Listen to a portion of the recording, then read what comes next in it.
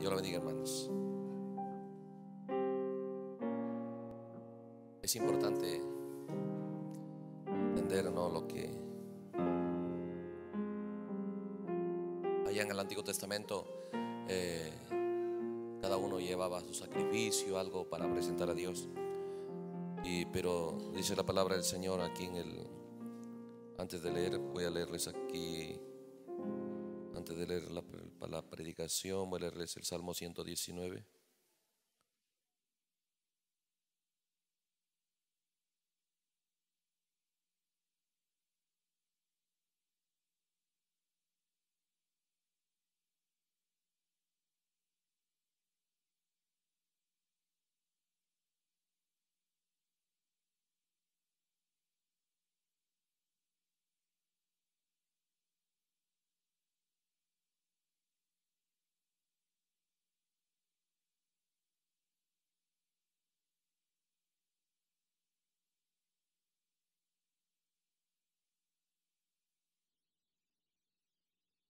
Vamos a leer una escritura aquí.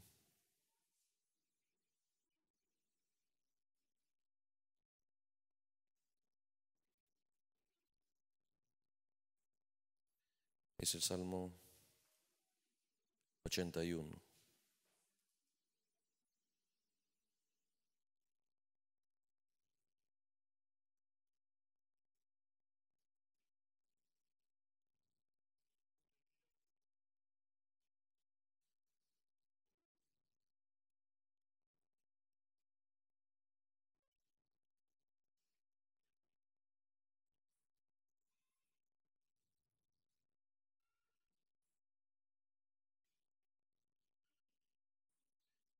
Aleluya.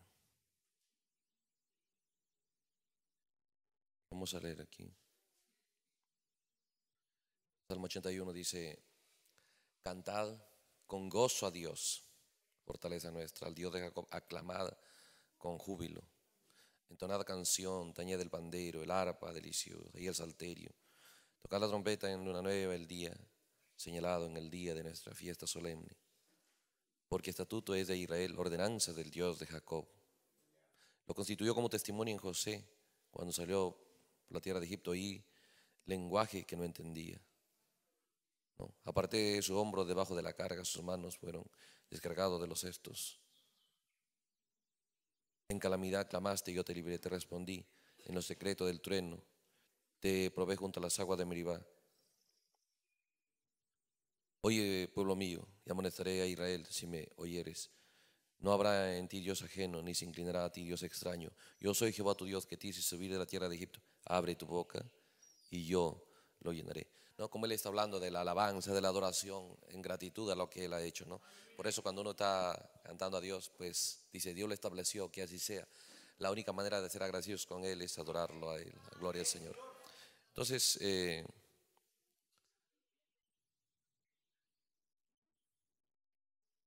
También voy a leerles aquí.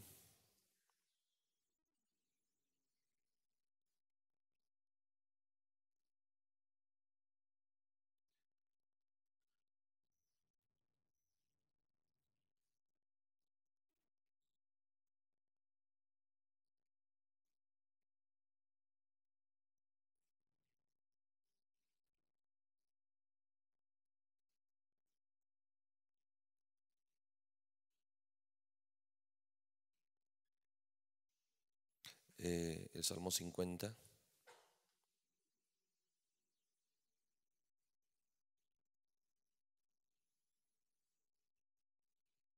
Nada más para que usted se anime, ¿no? Que es una parte importante la adoración. Una parte importante. Dice el versículo 23.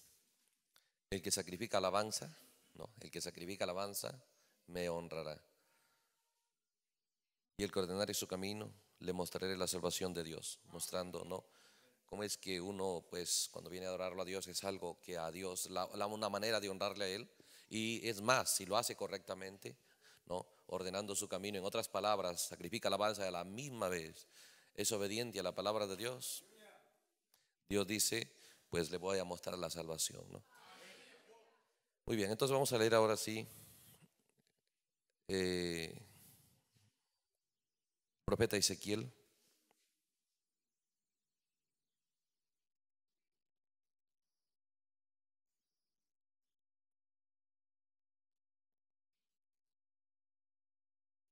El capítulo 36, ¿no? Bueno, eh, hay mucho, mucha escritura aquí, pero vamos a ver si enfatizamos un poco. Uh, 36, vamos a leer desde el versículo 24. Dice así, Ezequiel 36. Y yo os tomaré de las naciones y os recogeré de todas las tierras, os traeré a vuestro país. Esparciré sobre vosotros agua limpia y seréis limpiados de todas vuestras inmundicias y de todos vuestros ídolos os limpiaré.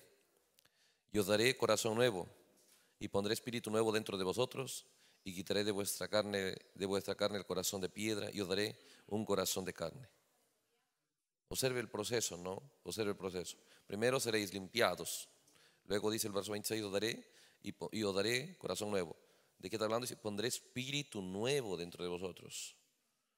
Y quitaré el corazón de piedra y os daré un corazón de carne. Escucha esto. Y luego dice, y pondré dentro de vosotros mi espíritu. Es el proceso.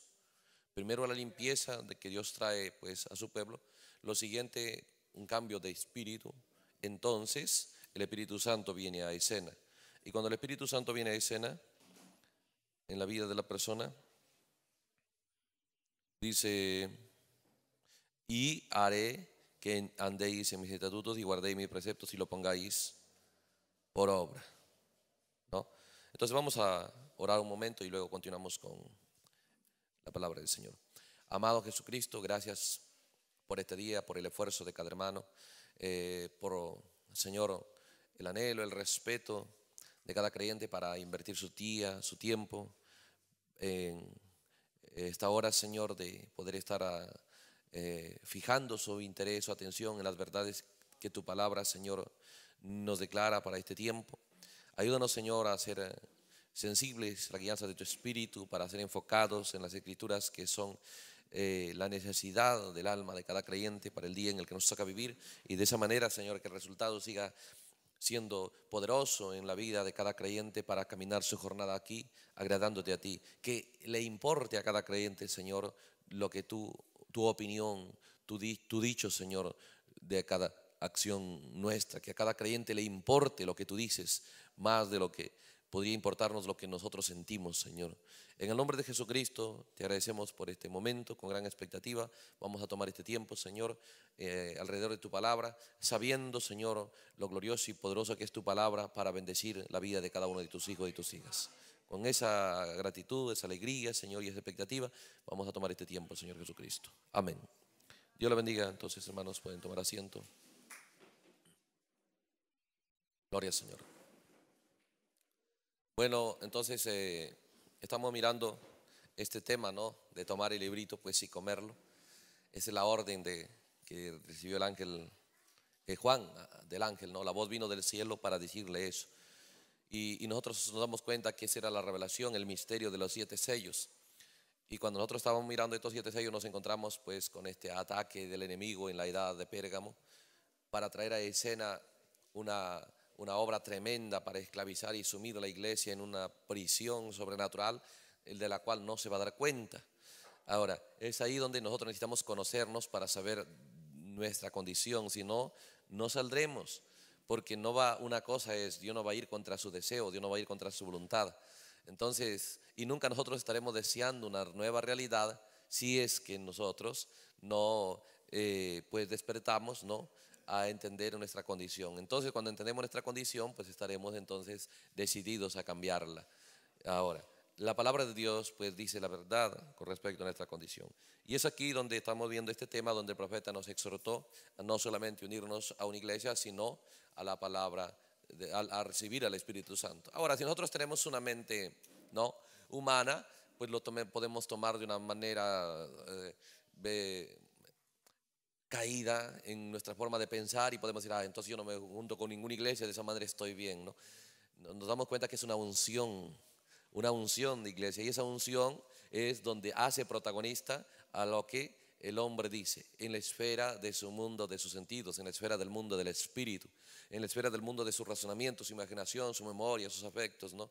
Por eso es que la gente se da cuenta que en esta hora, en este tiempo, está una unción mundial, en toda la tierra está esa unción, sobre todo ser humano, donde la gente no está buscando conocer la palabra de Dios, quieren hallar a Dios, pero ningún interés de ser expertos en la palabra de Dios, porque algo les hace entender que nada más pueden hallar a Dios por la vía de iglesia, por la vía de religión, ¿no? O por la vía pues, de que un predicador les imponga las manos, pero ese es un gran engaño. Entonces, pero eso ha sido suelto sobre la tierra y no puede el hombre recibir aquello que él no esté anhelando, que él no esté deseando, que él no esté buscando. Y si la gente busca a Dios fuera de su palabra, ¿no? ¿Cómo puede encontrarlo? ¿Cómo puede hallar esa bendición? Pero es una unción que está ahí. Y fuera de eso, entonces, cuando uno no entiende y no es lavado de eso, uno pues empieza como Israel a dar vueltas en un desierto y su estado de ánimo, su expectativa, su fe, todo empieza a decrecer y terminamos como no escuchábamos antes en el mundo de la religión y en el mundo de la religión misma del mensaje, ah, yo estaba en, en, mi primer amor, cuando yo estaba en mi primer amor estaba bien animado, estaba fuerte, ¿no? ¿Y qué pasó ahora? Encontraremos un decrecer continuo en la persona, su estado de ánimo va a ir disminuyendo en vez de ir creciendo, ¿no? Porque la persona no fue sincera de eh, buscarlo a Dios de la manera donde Él lo estableció. Eh, entonces, pero es diferente cuando el cristiano eh, lo toma Dios por su palabra, ese es poderoso. Y es aquí donde nosotros queremos leer algunas escrituras en cuanto a cómo es que el hombre puede acceder al Espíritu Santo, cómo puede fracasar a ello, cómo puede acceder a ello. Recuerda, hay una vida definitivamente más gloriosa, mejor para nosotros. Solamente que necesitamos ser instruidos, instruidos de todas las cosas que no debemos operar y todas las cosas que debemos operar. Y luego sacarnos a una actitud donde nosotros entendamos que las cosas ya están disponibles, todo el precio está pagado, que solamente se requiere que tomemos actitud en... Eh, apropiarnos de las promesas de Dios, ¿no? Voy a leer el mensaje que es el Espíritu Santo para poder avanzar en este, en este tema, que es el Espíritu Santo. Porque ese es, ese es, el mundo, el objetivo principal del cristiano, lograr recibir ¿no? vida eterna, lo, lo, cual es el Espíritu Santo. ¿no? no solamente es solamente dejar de hacer cosas cerradas, eso pues e, es algo bueno que tal vez le ayude en su vida natural, pero no tiene nada que ver con su salvación. Pero es la necesidad de cada creyente recibir el Espíritu Santo. Y eso, aquí vamos a ver algunos puntos, párrafo 20, 27 de este mensaje, que es el Espíritu Santo, párrafo 27. Dice, ahora, hay una diferencia inmensa entre nada más un cristiano y un cristiano lleno con el Espíritu Santo, ¿no? Es una diferencia grande, alguien que tiene el Espíritu Santo y uno que no. Un cristiano yendo con el Espíritu Santo. Ahora, tomemos esto, dice, de la escritura y colocarlo exactamente en la escritura. En primer lugar, hay un cristiano que profesa ser un cristiano. Pero si ese cristiano todavía no ha sido lleno con el Espíritu Santo, él únicamente está en proceso de ser un cristiano. Ahora es importante entender eso. Porque nosotros a todo el mundo lo llamamos cristiano, ¿no? Pero dice, hay gente que profesa, sí, yo soy cristiano. Eso es una cosa, ¿no?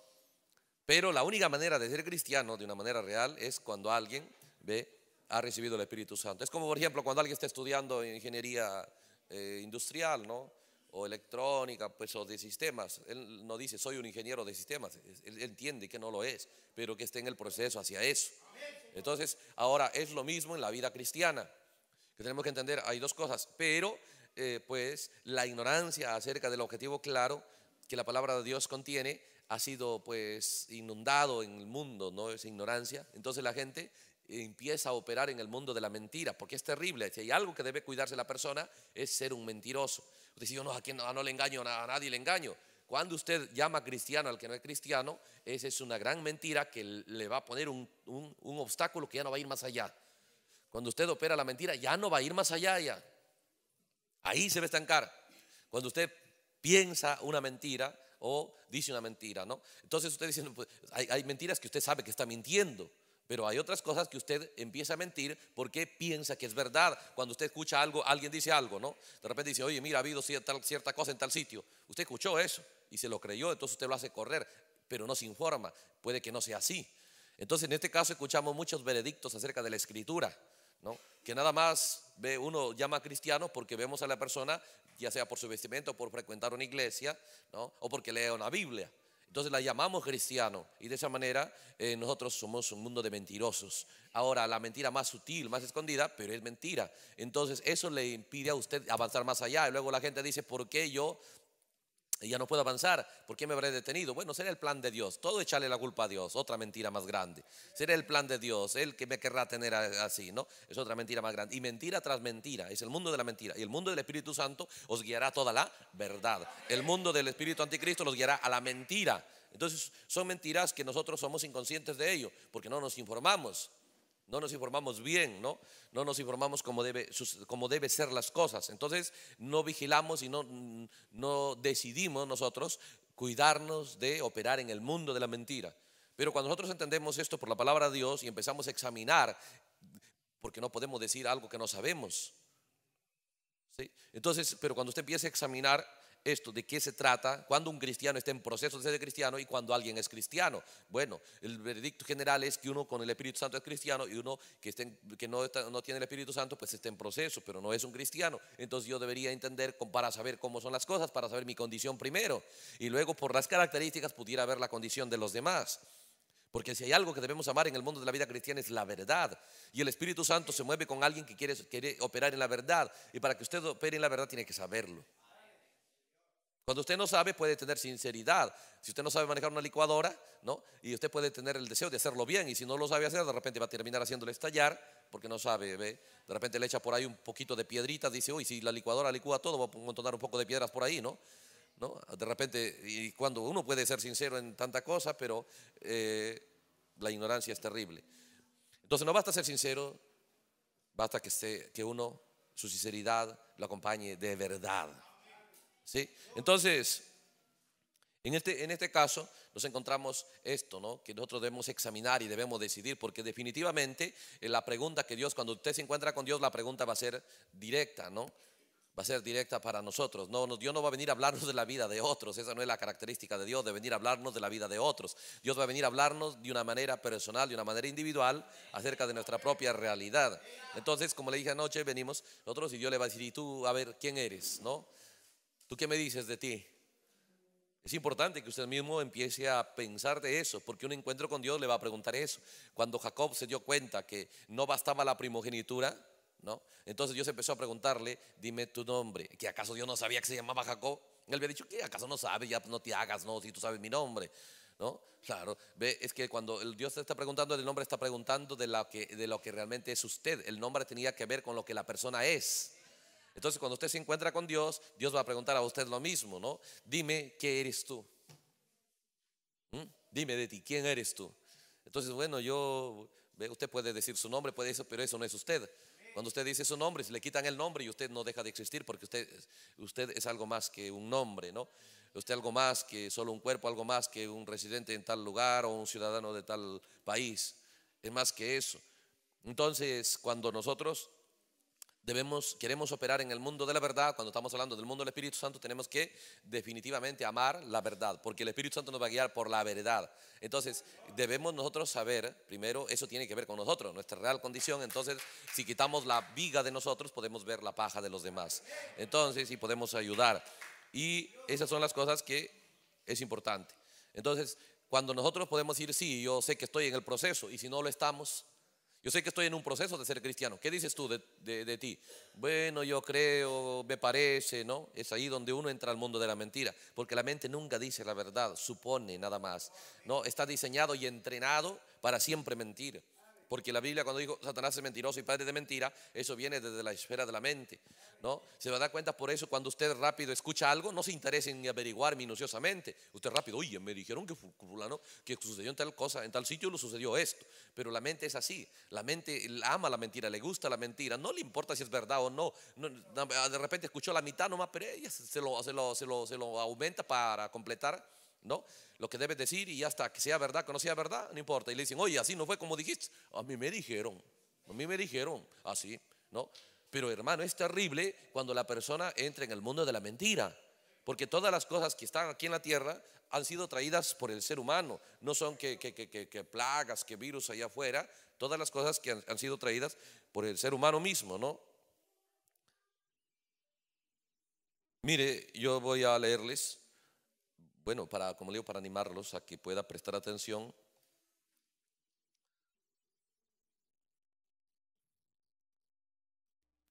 A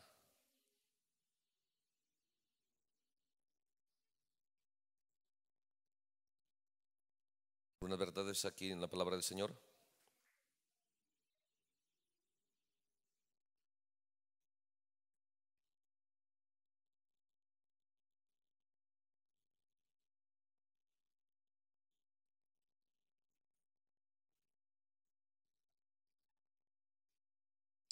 El mensaje liderazgo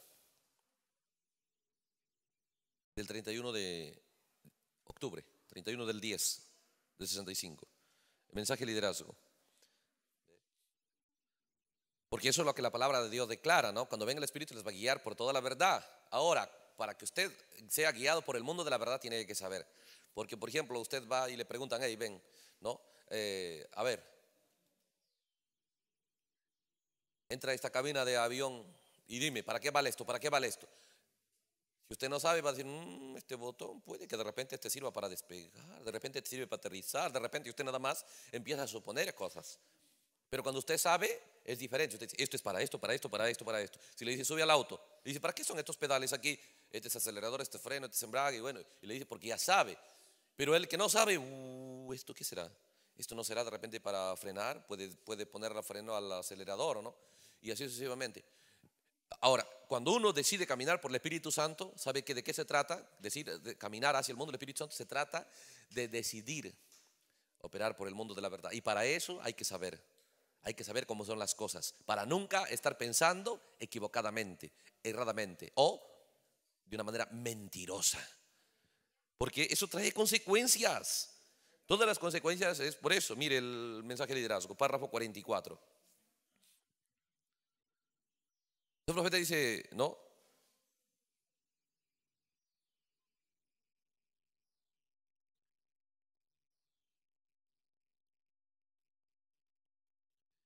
Porque las cosas suceden. El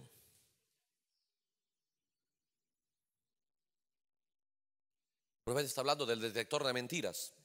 ¿no? ¿Cómo es que una persona le pone el detector de mentiras? Él dice en su mente, puede, no, no es así.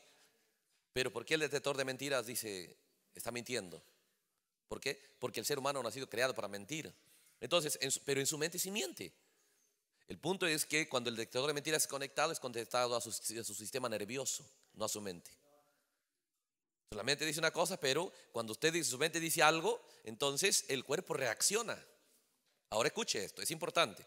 Cuando usted en su mente dice algo, una mentira, el cuerpo reacciona porque el cuerpo sabe que eso no es así.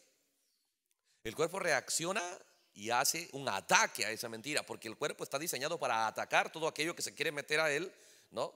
De una manera equivocada. Entonces el profeta aquí empieza a mostrar esto, dice cómo es que el detector de mentiras eh, obra así. Por ejemplo, dice el párrafo 43, ¿no? Usted sabe, dice lo que él dirá el polígrafo cuando usted dice, usted dice no o algo, ¿no? El polígrafo dirá, sí señor, lo hizo, sí señor, lo hizo. Usted dice, no lo hice, pero el polígrafo dirá, sí lo hizo. Entonces, entonces pregunta el profeta, dice, ¿por qué? Porque una mentira es una cosa tan horrible, ¿no? En nuestro mundo natural no nos parece horrible. Es más, hemos hecho de la mentira una cultura ya. Y eso es un trabajo que hay que trabajar, porque desde niños, automáticamente, ¿quién le enseña al niño? Viene el papá y le dice, ¿quién ha dicho eso? Yo no. Porque algo le dice, miente para que te vaya bien. Porque si tú no mientes, dices que tú lo has hecho, te va a costar. Y el papá que no entiende y la mamá que no entiende entonces no sabe entrenar al niño, ¿no?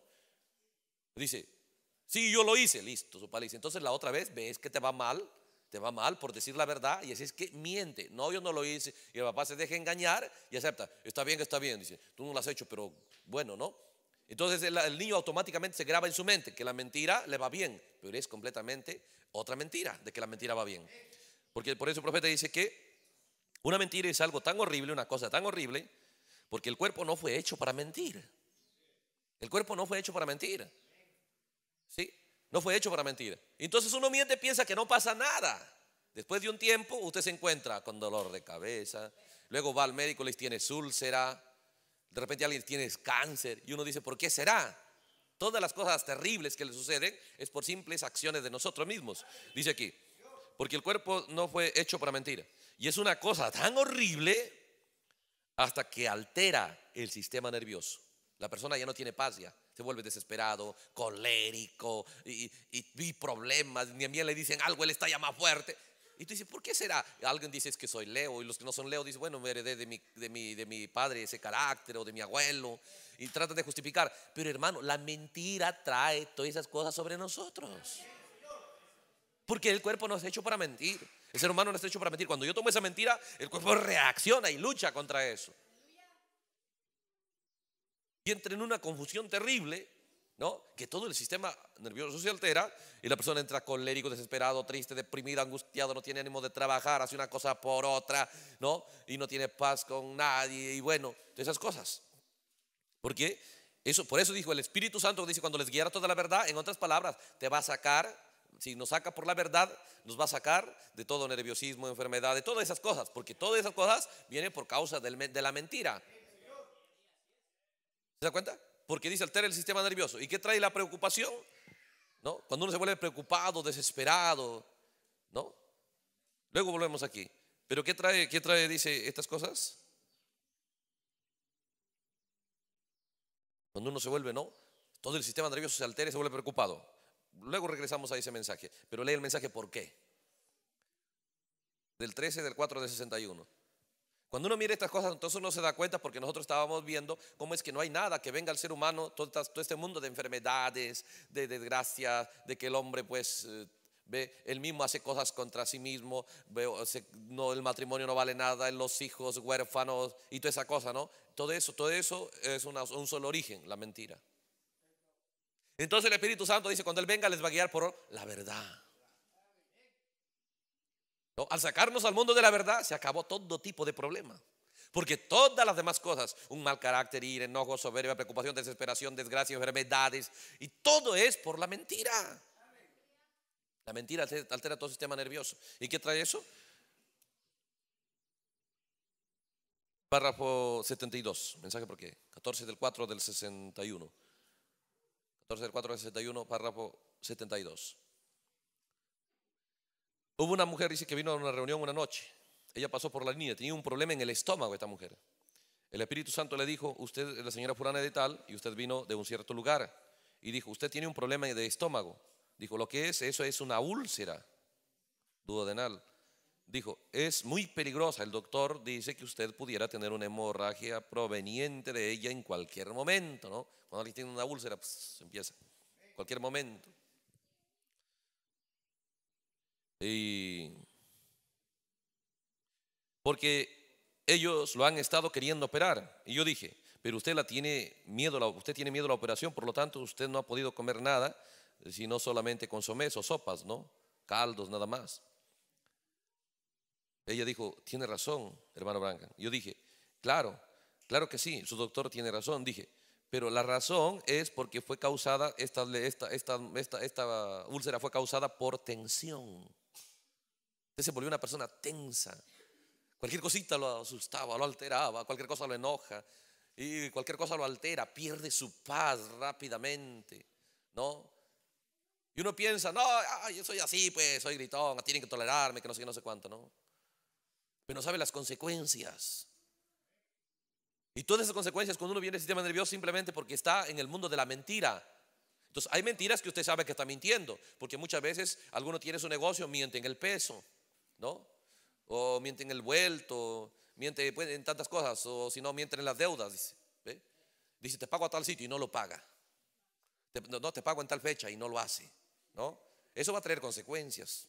Inevitablemente eso traerá consecuencias, traerá todas sus desgracias porque son leyes. La mentira tiene consecuencias porque viene de Satanás y Satanás es el padre de la mentira, ¿no? Entonces, pero él coloca a la gente, cómo invade el, mundo de las personas cuando la persona recibe la mentira, de que si ya, ¿no?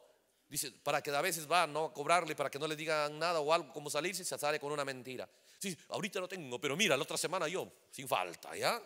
¿No? Y no se da cuenta que más adelante eso le va a pasar factura, porque eso va a traer a, su cuerpo cosas que van a ir contra su propia vida muchas veces. ¿No? Para matar al diablo y hacer daño a la persona es por la vía de la mentira. Hay muchas cosas que él ve, es consciente mintiendo. Pero hay otras cosas que él no, es, no es consciente. Cuando él entra a la vida cristiana y la, dice, ya no miento en lo natural, él se cuida. No, no, no, me dio de más un vuelto y lo devuelve. Oye, mire, se le cayó un, solo un dólar, tenga. Y él devuelve. Se dice, yo ya no miento, ya soy honesto en lo natural, en las cosas que usted sabe. Pero ¿qué tal en las cosas que usted no entiende? Entonces, cuando alguien quiere ser completamente libre, porque usted no puede ser libre, ¿no? Si es que usted no entra a la verdad. La verdad va a liberarnos de la mentira. Y la mentira es la consecuencia de todos los tipos de desgracias que puede entrar y operarse en el ser humano. Entonces, ¿qué trae, de, qué consecuencias son las úlceras de, la mentira? Eso trae tensión, eso altera el cuerpo. Y la tensión trae las úlceras. ¿No? Entonces, trae las úlceras y terminan algunas siendo cancerígenas y todo por el estilo. ¿Ve? Pero, pero todo eso es por el mundo de la mentira. Entonces, hay mentiras que uno sabe, porque uno dice, no, no pasa nada, yo me miento, que solo por mentir nomás, es que es tan poderoso lo que el ser humano dice y hace. No queda sin resultados. Todo lo que el ser humano hace y dice, no queda sin resultados. No queda sin resultados.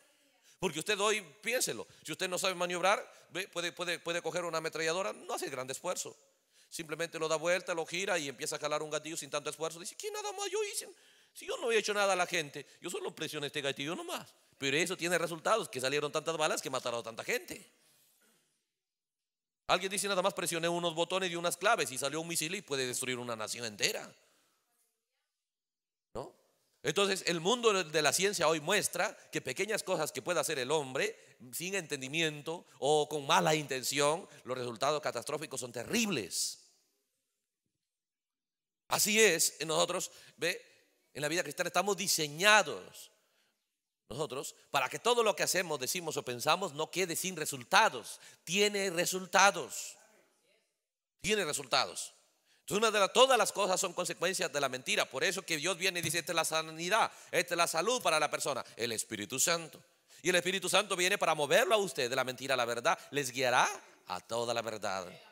Por eso dice que va a lavarnos. ¿Y cómo nos va a lavar? Diciéndole, mira, esto es mentira. ¿Te bautizabas de esta manera? Mentira. Oye, Pertenecías y te volviste denominacional pensando que eso es la iglesia de Dios. Mentira. Y empieza a revelarnos toda la mentira y uno dice, no, dejo esa mentira, dejo esa mentira. Y tal vez hemos dejado, ¿no? Unas, unas 500 mentiras, quién sabe unas 10 mil. Pero hermanos, ¿quién, quién sabe, estamos infectados con millones de mentiras. Y cada día debe ser el creyente interesado en una limpieza total. Por eso dijo, primero esparciré agua limpia y cambiaré, ¿qué dice? Vuestro espíritu. En otras palabras, ve usted, vuestra atmósfera empezará a volverse llena de luz. Entonces, ¿qué significa eso? Que todo lo que usted habla y hace ya sabe de lo que está hablando. Puede probar que usted no está en la mentira, usted puede probar que está operando la verdad. Para ello se necesita saber, por eso el Espíritu Santo nos va a mover por el mundo del entendimiento de cómo son las cosas. Entonces Jesús dijo esto, que nosotros debemos operar de esta manera. Observe, es el Evangelio de San Juan.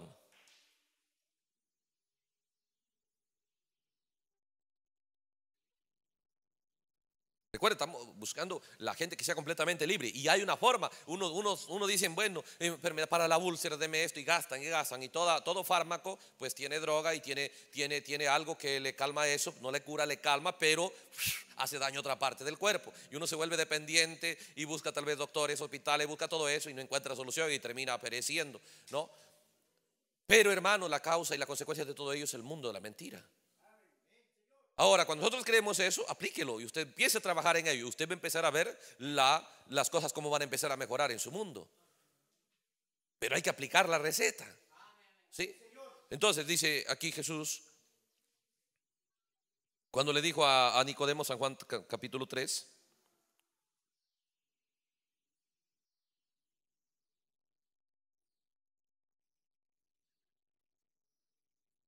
Cuando le dijo a Nicodemo, deben nacer de nuevo. Nicodemo, dice el verso 9. Respondió Nicodemo y dijo, ¿cómo puede hacerse esto? ¿No?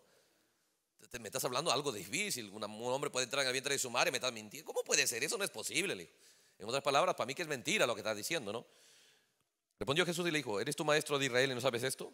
De cierto, de cierto te digo, ¿eres maestro de Israel y no sabes esto? Tú, siendo maestro, debieras saber qué es verdad y qué es mentira. Tú debieras saber, porque me dicen, no, ¿cómo va a ser eso? ¿Cómo estás llamando mentira a una verdad? Siendo maestro debieras saber. Debieras saber. Por eso Jesús cuando nos encuentra, si eres cristiano, debieras saber. Todo lo que la palabra dice es verdad y lo que es contrario a ella no es verdad, debieras saber. Entonces Jesús dice, ¿por qué? El verso 11 dice, de cierto, de cierto te digo que lo que, lo que sabemos hablamos, eso es poderoso. Y de esa manera usted no va, usted, no va usted a sufrir ninguna consecuencia mala. Cualquier cosa que usted escuche, pues nunca lo hable mientras usted nos informe. ¿No? Mientras usted no sepa realmente cómo son las cosas.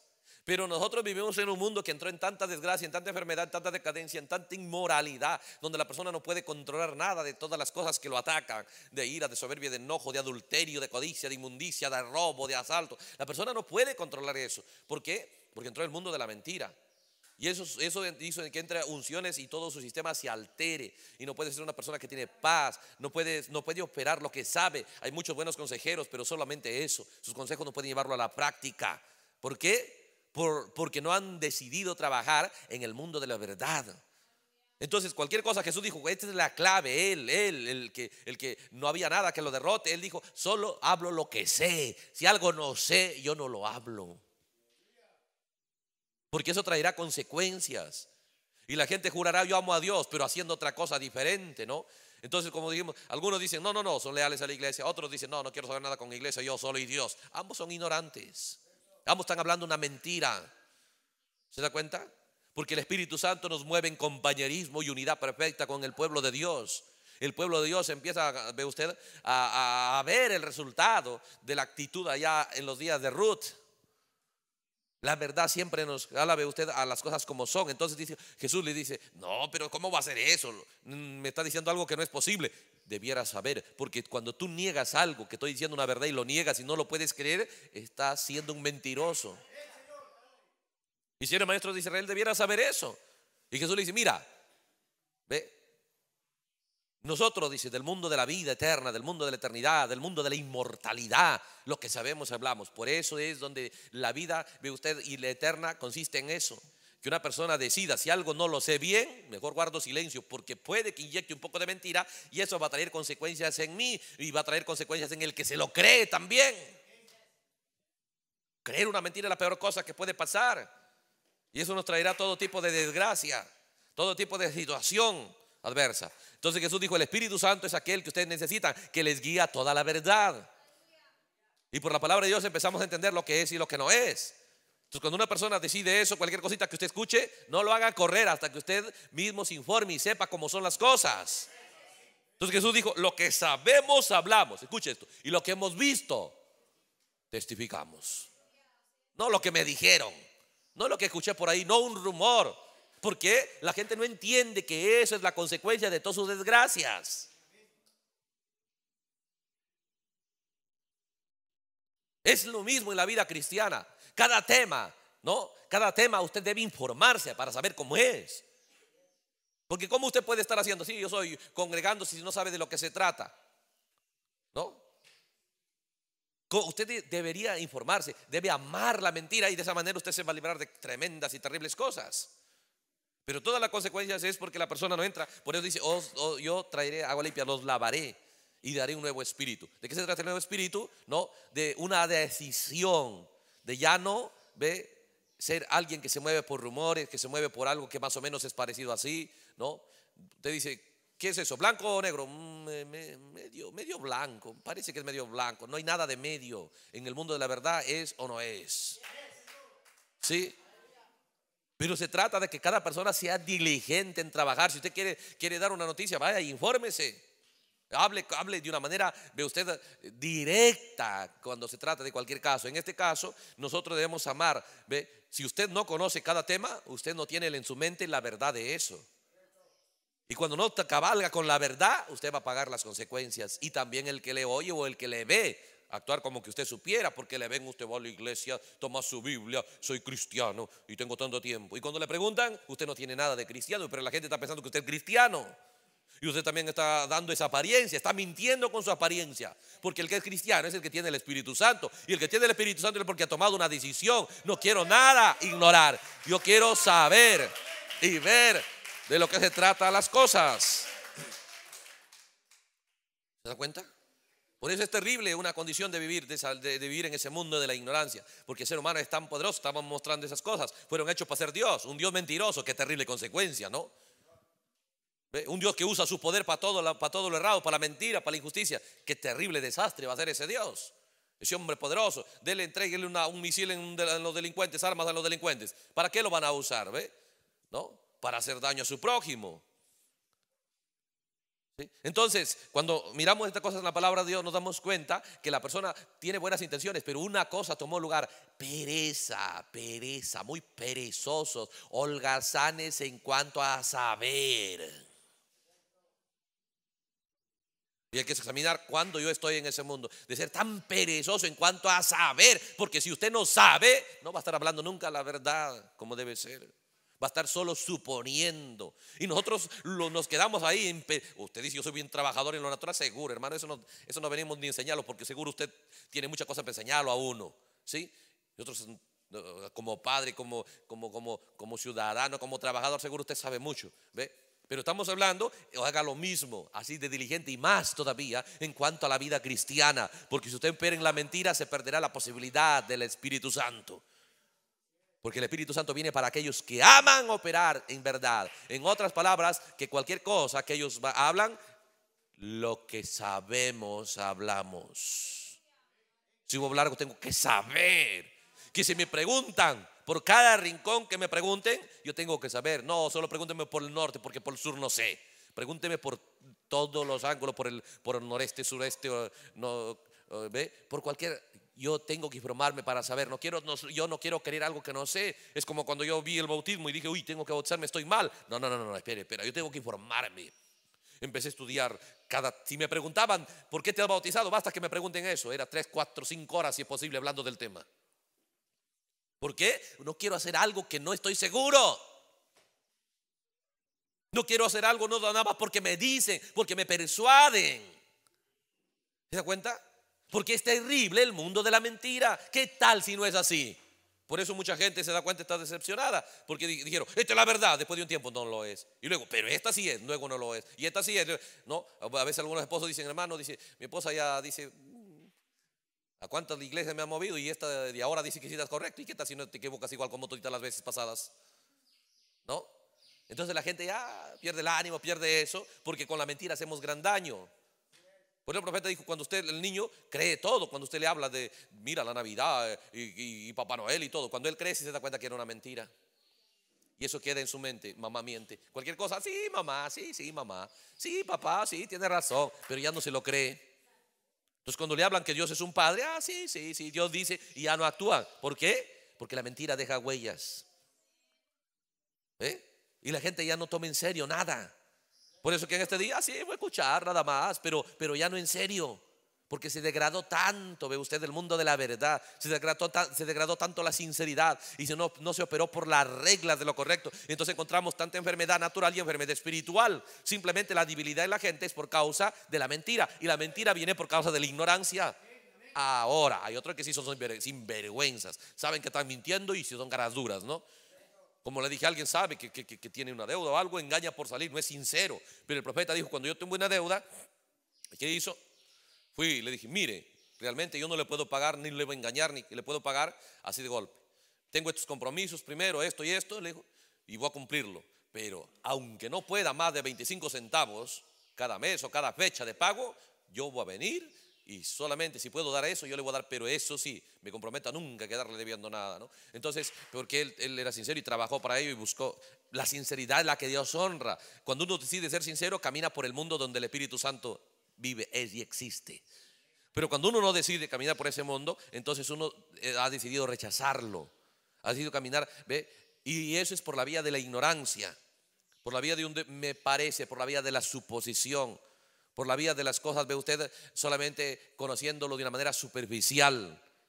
Entonces, de esa manera suceden las cosas. Pero Jesús dijo, el secreto es que nosotros operemos por el mundo de la verdad. Lo que sabemos hablamos y lo que hemos visto testificamos. Por eso el profeta decía aquí, la mentira es algo terrible, ¿no? Trae tensión, trae todo eso. ¿Y qué hace?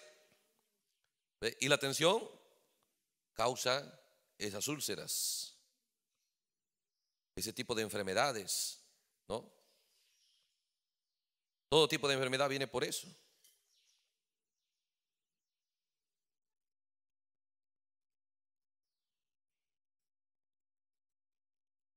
Observe. Voy a volver al mensaje liderazgo, ¿no? Mensaje liderazgo, el párrafo, estábamos leyendo el párrafo 44. Por es tremendo, hermano, y eso es en la vía de la predicación, es terrible eso.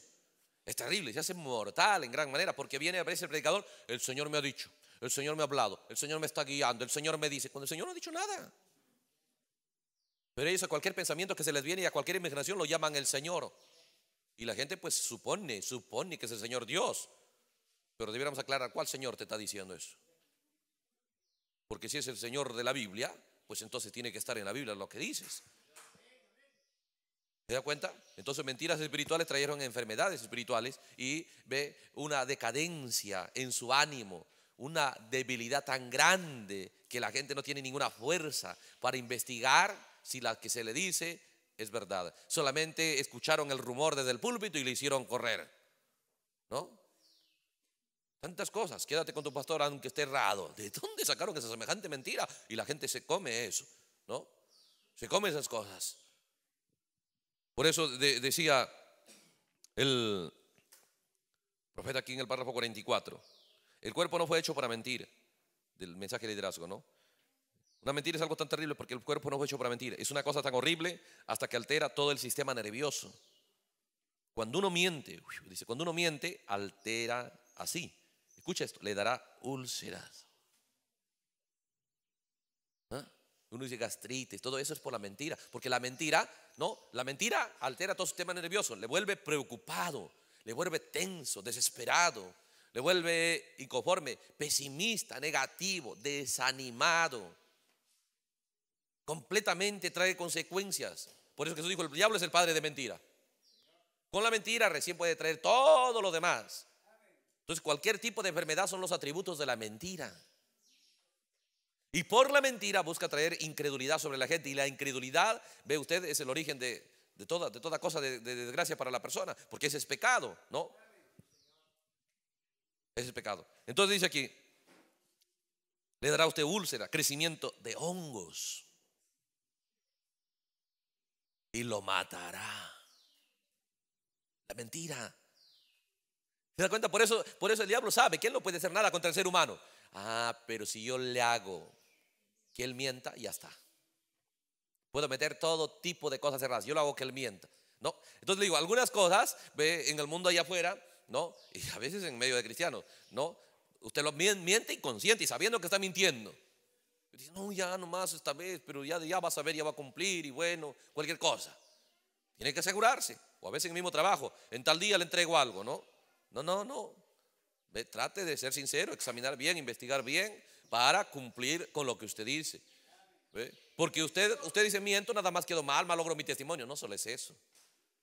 Sino todo tipo de enfermedad entra a su cuerpo. Y eso es demonios. Porque cada enfermedad es un demonio para malograr, para quitarlo su paz, para quitarlo su salud, para quitarlo su ánimo.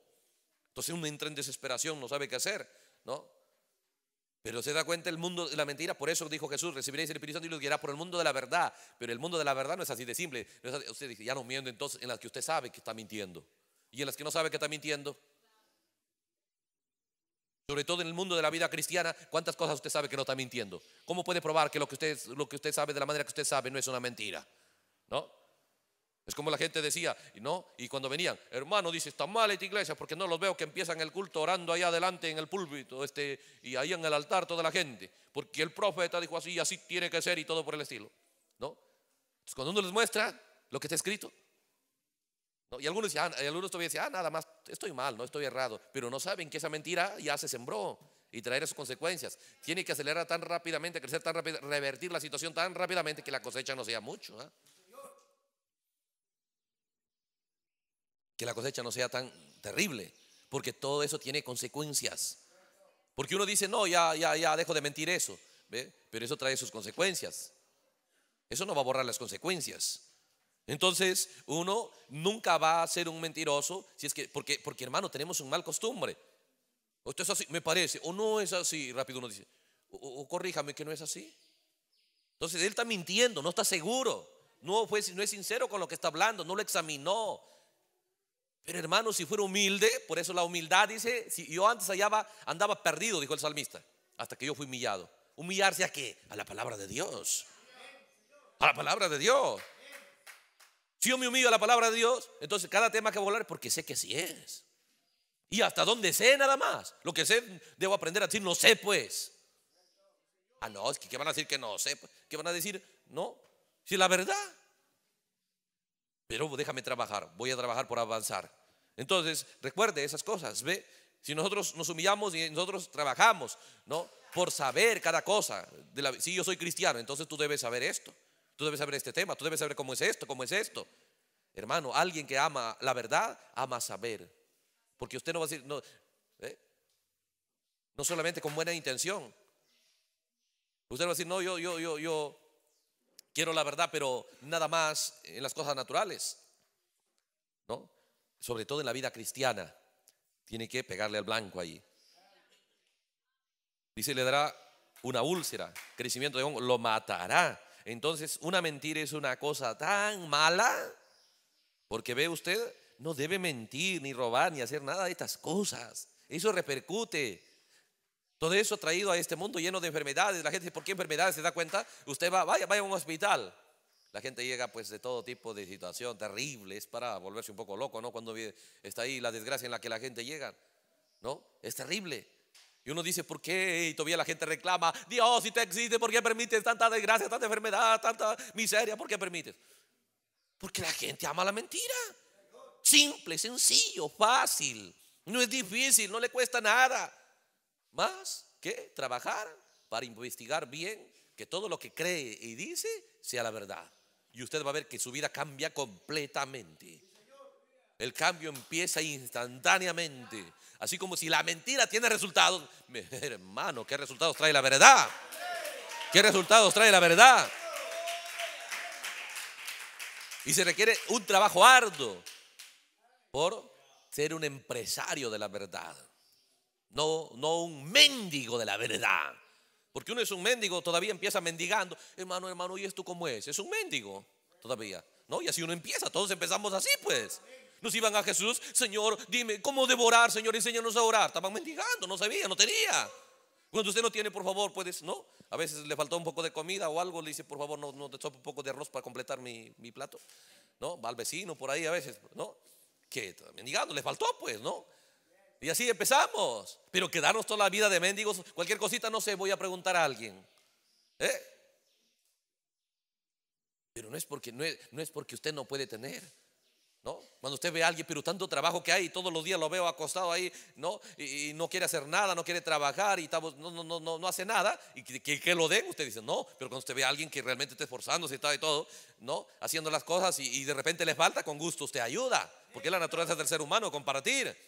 Pero cuando alguien es un holgazambe, todo por el estilo, ¿no? Entonces medio que el ánimo, hasta las ganas se quitan. ¿eh? Entonces, es así. Entonces, toda la vida yo tengo que decir, no, toda la vida voy a estar, hermano, por favor, esto. ¿No? A veces sí, a veces usted va hoy a su amigo, oye, ¿sabes qué? Tengo algo, me falta esto. Por favor, ¿puedes ayudarme? Sí, bien. Pero cuando uno ya hace un hábito de no hacer nada, cualquier cosita, cualquier cosita, voy nada más a mendigar. ¿No? Voy a pedir. Entonces no debe ser así. Usted debe decidir, yo voy a trabajar arduamente, porque sé que comerás el pan con el sudor de tu frente. Voy a trabajar por salir del mundo de la mentira. Cristo ha pagado el precio, puedo salir, está disponible. Antes no estaba disponible la palabra de Dios, el árbol de la vida, el acceso al lugar santísimo. Estaba sellado, no era accesible. Pero hoy Cristo pagó el precio, está accesible. Hay disponibilidad, pero hay que trabajar. Gloria al Señor. ¿Ve? Hay que trabajar por ello. Si no, miramos las consecuencias de ello. Por eso vemos, ¿no? ¿Cómo es que toma lugar estas cosas?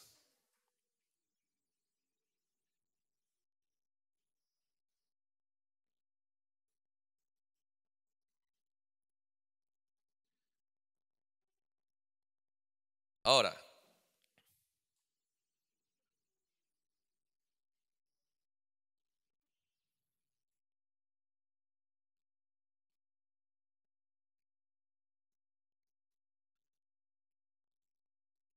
voy a leer aquí en eh, otro mensaje, vistiéndose de toda la armadura de Dios. Para que usted vea estos datos, ¿no? Estamos basándolo, ve, ¿no? Tanto en la Biblia como en el mensaje para mostrar que no estamos soltando pensamientos ve, así de sueltos o en nuestra propia mente y fabricándolos, sino son verdades que la Biblia lo contiene y el mensaje. Párrafo 33 del mensaje vistiéndose de toda la armadura de Dios. Párrafo 33. Aleluya. Dice así. Ahora, nos damos cuenta que este gran enemigo de Dios, que Satanás pensó. Ahora, observe, dice, mientras ellos crean esa palabra, nunca podré llegar a ellos. ¿Se da cuenta? Mientras la gente dice, crea la palabra de Dios, mientras ellos creen y siguen toda la instrucción, Satanás sabe, nunca podré llegar a ellos. Entonces nunca podrá llegar a ellos Satanás con ninguna enfermedad, ¿no? Con ninguna cosa errada, no podrá llegar, no podrá alcanzar a la persona, porque toda cosa errada viene del mundo de Satanás y es el efecto de la mentira. Pero Satanás sabe eso, dice, mientras ellos crean esa palabra, yo nunca podré llegar a ellos. Entonces él suelta una unción, suelta una unción. No puede obligarlos, pero es una unción, ¿no? Un estado de ánimo. Una unción donde usted, como cuando a veces no está pues cansado, agotado, algo, ay, hoy día no quiero trabajar, ¿no? Y se pone medio cansado, desanimado para ello, pero se da cuenta cuando entiende que hay la necesidad, pues tengo que ir y se va, ¿no? Pero hay gente que se deja dominar de eso, ve, y les gusta eso, es triste eso, hermanos, es triste, ¿no? Ve, es una plaga terrible la pereza espiritual, pero ya la pereza natural ya pues una, no, es una lepra muy grande. Y con la excusa de que no hay trabajo, no, es el más, cuando alguien le diga no hay trabajo es un gran mentiroso, hermano. Es un gran mentiroso y, tendrá sus consecuencias, ¿no? ¿Ve? Porque, pues, hermano, falta tiempo. Cuando uno quiere hacer algo, falta tiempo. Cuando uno no quiere hacer, ahí sí no hay nada, pues. No es que no hay, sino que si hace que no hay. ¿Ve? Entonces, dice aquí el párrafo 33. Nos damos cuenta que este gran enemigo de Dios pensó, ahora mientras ellos crean esta palabra, nunca podré llegar a ellos. Es lo que sabe Satanás. Mientras esa pequeña familia en el Edén se mantenga detrás de la palabra, nunca podré ni tocarlos. Ni tampoco puede hoy. Dice, allá sabía que no podía ni tocar la familia de Dios, tampoco puede hoy. La única forma es que la gente y la palabra de Dios no tengan una relación intensa, no tengan una relación poderosa. Entonces todo el trabajo está ahí. Por eso que el Espíritu Santo viene, ¿no? Para provocar en usted, ¿no? Un anhelo ardiente y un trabajo arduo por conocer la palabra de Dios. Eso. Ahora, pero cuando usted quiere cambiar su estado de ánimo con respecto a la palabra de Dios, porque si le dice, ¿no? Le dice a, a, veces uno viene a los niños, ve para leer la Biblia, ¿no? Anda, juega, ay, sí, el ánimo, ¿no? Entonces, cuando dice, hermano, uno va a estudiar, uy, tengo que estudiar. Cuando uno ya, uy, al fin ya deja de estudiar, o algunos al fin termina el culto, al fin terminó la prédica, y bueno, ¿no? Entonces uno, uno debe ser sincero y examinar su estado de ánimo para la palabra de Dios, porque eso es una unción. Mientras nos coloquemos bajo la unción de Satanás, Satanás lo sabe. Entonces, la única salida que Satanás tiene para hacer daño a una persona es lograr que esa persona reciba la unción de no tener él interés en trabajar intensamente por conocer la palabra de Dios. Entonces él nada más lo hace de una manera ligera, de una manera rudimentaria, ¿no? Entonces, ¿qué hace? Porque como nadie administra eso, Dios ha dejado que la persona tenga libertad en ello y eso lo convirtió en libertinaje. Cada uno toma algo de la palabra de Dios y lo mezcla con sus explicaciones y sus ideas. Y uno sale con tanta cosa sin saber el resultado de ello. Pero yo tengo que saber y decir, Señor, no, una vez tengo que investigar bien cada cosa. ¿Por qué? Porque si no es así, eso va a tener consecuencias conmigo y con todo el que dice amén. Eso va a tener consecuencias. Qué, grande es cuando alguien es responsable, ¿no? En eso. Es glorioso. Entonces la persona ya no está haciendo correr cualquier cosa. Por eso, por eso vimos que ningún, yo no voy a enviar las aguas de separación iban a ser colocadas en un vaso limpio, en un, en un lugar limpio, ¿no? Entonces cada persona debe entender que debe pasar por el proceso, porque si yo voy todo sucio, hago gran daño. Porque no podré, no podré, entonces yo iré y, y llevaré las verdades, pero las llevaré nada más un poquito de cómo es. La mayoría de las cosas se lo supondré que es así. o lo explicaré de acuerdo a mi parecer. Y es una gran masacre que uno puede hacer, una desgracia. Entonces, el mundo del Espíritu Santo es el mundo donde la gente tiene que tomar la decisión, voy a salir de la mentira. Entonces, en cada tema que este día Dios envió, que debe ser suelto en la Biblia, usted debe trabajar por conocerlo usted. ¿no? Nosotros vamos a hacer nuestra parte acá. Nosotros vamos a hacer nuestra parte y en cada vez que tenemos la oportunidad de reunirnos y trabajar, vamos a hacer nuestra parte y aportar nuestra parte. ¿No? Y con la fe, con la confianza que usted le va a servir, que usted va a tomar eso para ayudárselo. Pero la, la gran, eso tal vez sea un 25, un 20% que le ayude, pero el 80% lo hará usted. ¿no? Pero qué tremendo. ¿Por qué? Porque Dios dijo que el que no trabaja no come, ¿no? Porque usted no va a decir, usted va a la gente y, al mes le dice, mira, ayúdame con algo, me falta esto, ¿no? Tal vez de repente necesito pagar algo para, para, para, el, para este mes, me falta tal vez unos, unos 200 dólares o algo, pero, pero no va a ir y decir, ¿sabes qué? Dame mi mensualidad, ¿no? Págame mi mensualidad o todos mis gastos del mes ya, eso es sinvergüenza, ¿no? Tal vez alguien puede pedir una ayuda, pero no va a querer que le solucionen toda la vida sin que le haga nada. Entonces es así en la vida cristiana. Cada don puede ser usted para ayudarlo en lo que le falta. Es como inversionistas que van a, aumentar el capital que a usted le falta, pero usted tiene que tener una base. Usted tiene que tener lo mayor porque usted es el dueño de su vida. Usted es el administrador de una nueva vida que va a tomar lugar en usted. Una nueva realidad que va a tomar lugar en usted. Y por la palabra de Dios estamos leyendo los secretos. Estos fueron escondidos. Las edades no lo encontraron porque no era el tiempo, no era el fin del reino de Satanás. Porque el reino de Satanás se basa en la mentira. ¿no? Entonces eso no se iba a saber. Porque Dios no, iba, no soltó su palabra. Entonces la gente a través de las edades no tenía un interés desesperado por toda la palabra de Dios. Porque no entendían esta clave. Porque el Espíritu Santo fue atado a través de ríos denominacionales en las edades. Pero ha sido suelto por la palabra de Dios para que esté disponible. ¿no? Ha sido, liberado hacia la gente. Ya no hay estorbos, no hay obstáculos. Cualquiera puede acceder al mundo del Espíritu Santo. Siempre y cuando ve usted entienda de lo que se trata eso. Se trata del mundo de la verdad se trata de entender y conocer, como dijo Jesús, lo que sabemos hablamos, lo que hemos visto testificamos. Se trata de saber esta cosa. Entonces el profeta dice aquí, allá Satanás no podía poner un pie sobre los hijos de Dios, tampoco puede hoy.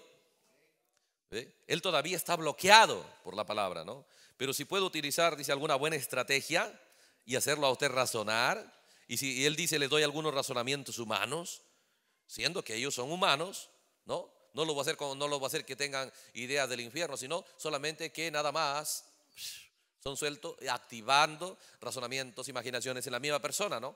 Entonces la persona dice, a mí me parece esto, yo creo esto, eh, yo esto. Hermano, y, ese es un mundo que cada uno, a ver, da tu idea, ¿a ti qué te parece? Dice, ¿no? ¿A ti qué te parece? ¿No? Y cada uno da su parecer de cómo suelen ser las cosas. Pero usted no lo puede probar, no, dice solo es una idea mía, ¿no? Eso debemos darlo tal vez en la forma de cocinar o de hacer algún trabajo, pero en la vida cristiana tiene que ser 100% la verdad. Entonces, y si yo simplemente, dice el diablo, puedo darle razonamientos humanos, entonces ganaremos la batalla. O sea, Satanás y sus ángeles. ¿Dónde dice está la victoria? Si hacen que la persona opere, opere en sus razonamientos. Y lo va a usar si no conoce la palabra de Dios, lo va a usar. Observe, voy a leerles eh, algunas escrituras. Por ejemplo, volvemos al Salmo 50.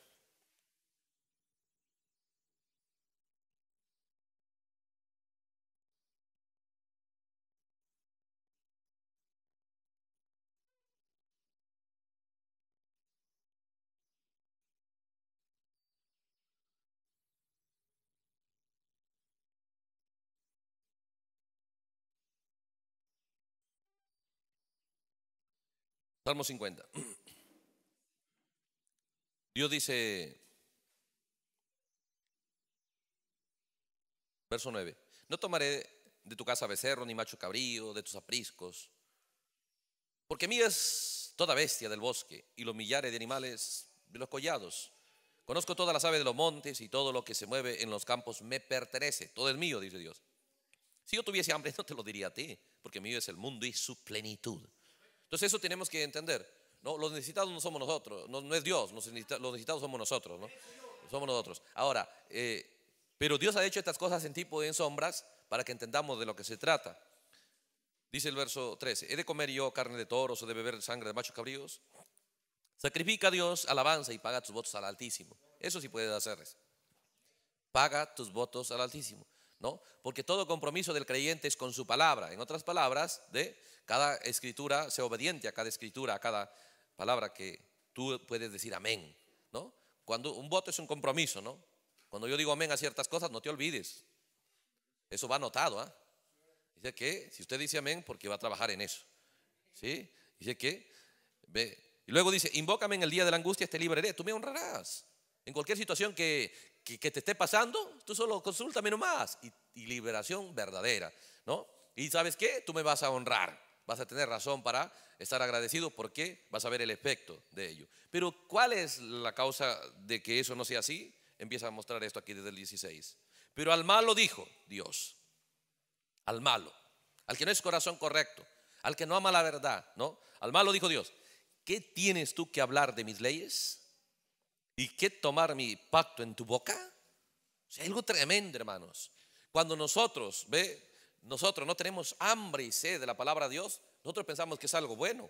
Vivir, si no estamos desesperados por conocer la palabra de Dios, pensamos que no pasa nada. Ese es un juicio. Es porque Dios vio que nuestro corazón es tan malo y nos vamos a quedar desinteresados de conocer y hablar la palabra de Dios. La palabra de Dios. Porque se encuentra allá afuera, encuentra en todas las calles, de Cristo te ama. Y eso no es la palabra de Dios. Eso son sugerencias de ellos. Son ideas de ellos. Si usted lo pregunta a ellos, la verdad de la palabra de Dios, pues solo son miembros de iglesia y nada más quieren mover a la gente a la iglesia y decidirle que de esa manera salieron son salvos del infierno. ¿No? Porque ellos están proyectando una salvación allá. Pero aquello de lo cual usted debe salvarse es aquello de que ya está en su ser, ¿no? Que le lleva al mundo de la mentira, que lo lleva al mundo de la ira, del enojo, de la soberbia, del resentimiento, de la envidia, de egoísmo, de todas esas cosas. Eso ya está ahí. Usted se lleva bien con alguien siempre y cuando le dé la razón, siempre y cuando cumpla las expectativas suyas. El día que no le den la razón, si usted es uno del mundo, ese día usted pierde su relación con la persona. El creyente es diferente. Nuestra relación con los, con los creyentes no es por, porque nos den o no nos den la razón a nosotros, es por la palabra de Dios. ¿Ve? Pero cuando uno viene con una mente mundana y es uno malo, entonces uno, ve usted, no va a poder tener la palabra de Dios completamente. ¿Por qué? Porque solamente va a estar hablando las cosas que cuadran con sus ideas egoístas. Pero no, jamás usted cree que va a estar hablando del compañerismo. ¿Usted cree que va a estar hablando del, del juntarse del pueblo para rapto? No, no, no. Porque uno se vuelve egocentrista en ello. Y, hasta el punto que algunos dicen, no, cada uno ve por su vida, ¿no? Entonces, dice, al malo Dios dice, ¿qué es lo que al malo lo separa? ¿Qué es la desgracia? No, dice, la persona que es buena, pues siempre me consulta a mí, yo lo saco de cualquier situación. Pero el que es malo, Dios le dice, no quiero verte a ti con mi palabra. Entonces, ¿qué le va a pasar a esa persona? La unción viene. La unción viene y la persona no tiene ningún deseo de conocer la palabra de Dios, porque su corazón es malo. ¿No? Porque Dios no se agrada. La peor desgracia es que una persona no tenga apetito desesperado por ser experto en la palabra de Dios. Eso es, terrible, vivir así. Entonces uno siempre vivirá ignorante, vivirá desconocedor de los temas o lo conocerá de una manera superficial. Eso es terrible, eso es un corazón malo. Ahora, usted y yo sabemos de nosotros mismos ¿no? Los de afuera no pueden saber lo que pasa dentro de usted, pero es usted lo que pasa, ¿no? Dentro de usted usted lo sabe. Y aquel que no puede estar compartiendo la palabra del Señor, ¿no? Ve, moviéndose y aumentando el compañerismo alrededor de la palabra de Dios, es porque tiene un corazón malo. Entonces, de, esa manera usted puede vigilar y saber lo que pasa por la palabra de Dios. ¿Ve? No solamente por, la palabra de Dios. Usted va a ver la gente que no tiene ninguna carga de hacer mover la palabra de Dios. Porque Dios dijo, cuando ve un malo, no, no, no. ¿Qué tienes mi palabra en tu boca? No, dice. ¿Ah? Al malo. Entonces usted cuando mira como cristianos, porque aparentemente nos miramos, todo el mundo podemos tener nuestra sonrisita, podemos tener nuestro, compañerismo, pero ¿cómo sabemos cuál es el corazón correcto para Dios? Porque Dios no miente, Dios tiene el veredicto justo, ¿no? Es cuando vemos la persona motivando, ¿no? Al pueblo de Dios, a los temas de la palabra de Dios, porque Él ama el mundo de la verdad y siendo que es un corazón correcto, un corazón que quiere, ve usted, el plan de Dios, ¿no? Y salir de su condición, entonces Dios le da acceso a su palabra. Entonces, ¿pero qué consiste? Por eso digo, es terrible. Son cosas que no nos parecen, no nos parece nada malo. Y nosotros pensamos así, estamos pensando una mentira, que no nos, cuando no nos parece malo que la gente no esté en su boca fomentando la palabra de Dios, ¿no? Porque fácil también es hacerlo por, por Facebook, ¿no? Ese es fácil. Eso cualquiera lo puede imitar y personificar. Eso cualquiera. Porque a veces uno mira eso nada más y opta por lo fácil, ¿no? Pues comparte un texto allá, pero que usted mueva a los demás, al compañerismo de la palabra de Dios, ¿no? ¿No? A los temas profundos de la palabra de Dios, es otra cosa. Es otra cosa. ¿Sí? Entonces, ¿por qué para eso usted tiene que tener gracia de Dios para, y confianza del pueblo del Señor? ¿No? Si no va, a estar, nada, me creen, no me hacen caso, bueno, ¿no? Pero dice, pero al malo dijo Dios, ¿qué tienes tú que hablar de mis leyes y tomar mi pacto en tu boca? Pues tú aborreces la corrección. Dice, ¿por qué es que es malo? Dios empieza a dar las características. Primero, aborreces la corrección. Qué tremendo, ¿no? Por eso, cuando nosotros ve usted, nosotros, hermano, qué tremendo, es una unción de hibridez, dijo el profeta. Es una unción de ser un híbrido. Cualquier cosita que no le dieron la razón o algo se siente bien ofendido, ¿no? Un híbrido, ¿no? Uno que ya no tiene la vida es, un, es uno que rápido se ofende, es un híbrido, ¿no? Un mulo, ¿ve? Una planta híbrida. Rápido es un resentido, ¿no? Usted lo va a encontrar a él solo quejándose de los demás, ¿no? ¿Por qué? Entonces Dios dice por eso que Dios detesta eso. Cuando, cuando la persona ya se aleja de la palabra que es la fuente de la vida, entonces, ¿qué es? Que la persona aborrece la corrección. No quiere ser corregido, porque el Espíritu Santo viene a corregirnos de la mentira y llevarnos a la verdad. Pero ¿de qué manera lo va a hacer? Obviamente, si es que es un trabajador arduo, pero bien, bien valiente para el trabajo, no va a esperar que esté detrás de, de, él, él lo va a hacer solo con la palabra, como Pablo, ¿no? Pero hay gente que es bien ocioso que tiene que estar el supervisor ahí, ¿no? Entonces Dios lo hace, Dios lo hace de la manera a través de un hermano, a través de un creyente, a través de otro creyente, viene y dice, eso no es así, esto no es así, y estás mal en esto, y estás mal, y enciende todo. Entonces, ¿qué es? ¿Qué vamos a ver? Recuerde, nosotros no vamos a ver nada malo, nosotros no vamos a ver nada malo en la persona en la esfera de afuera, y eso a veces nos pone contentos. Luego regresamos aquí, pero vamos a ir allá a mirar otra escritura.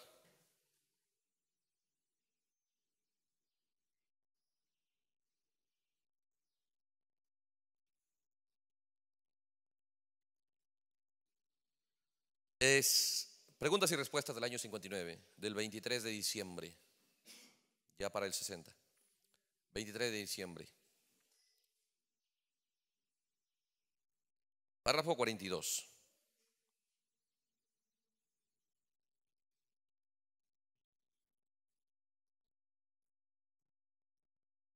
Recuerda, estamos mostrando estas cosas por la palabra de Dios y sabemos, hermano, que de nuestra manera su alma va a asimilar estas cosas. Es nuestra necesidad de cada uno de los creyentes.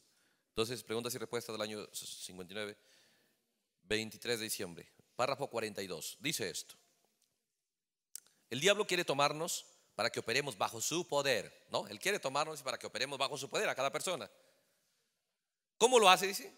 Así que cuando él empieza el pecado, él toma la forma suave.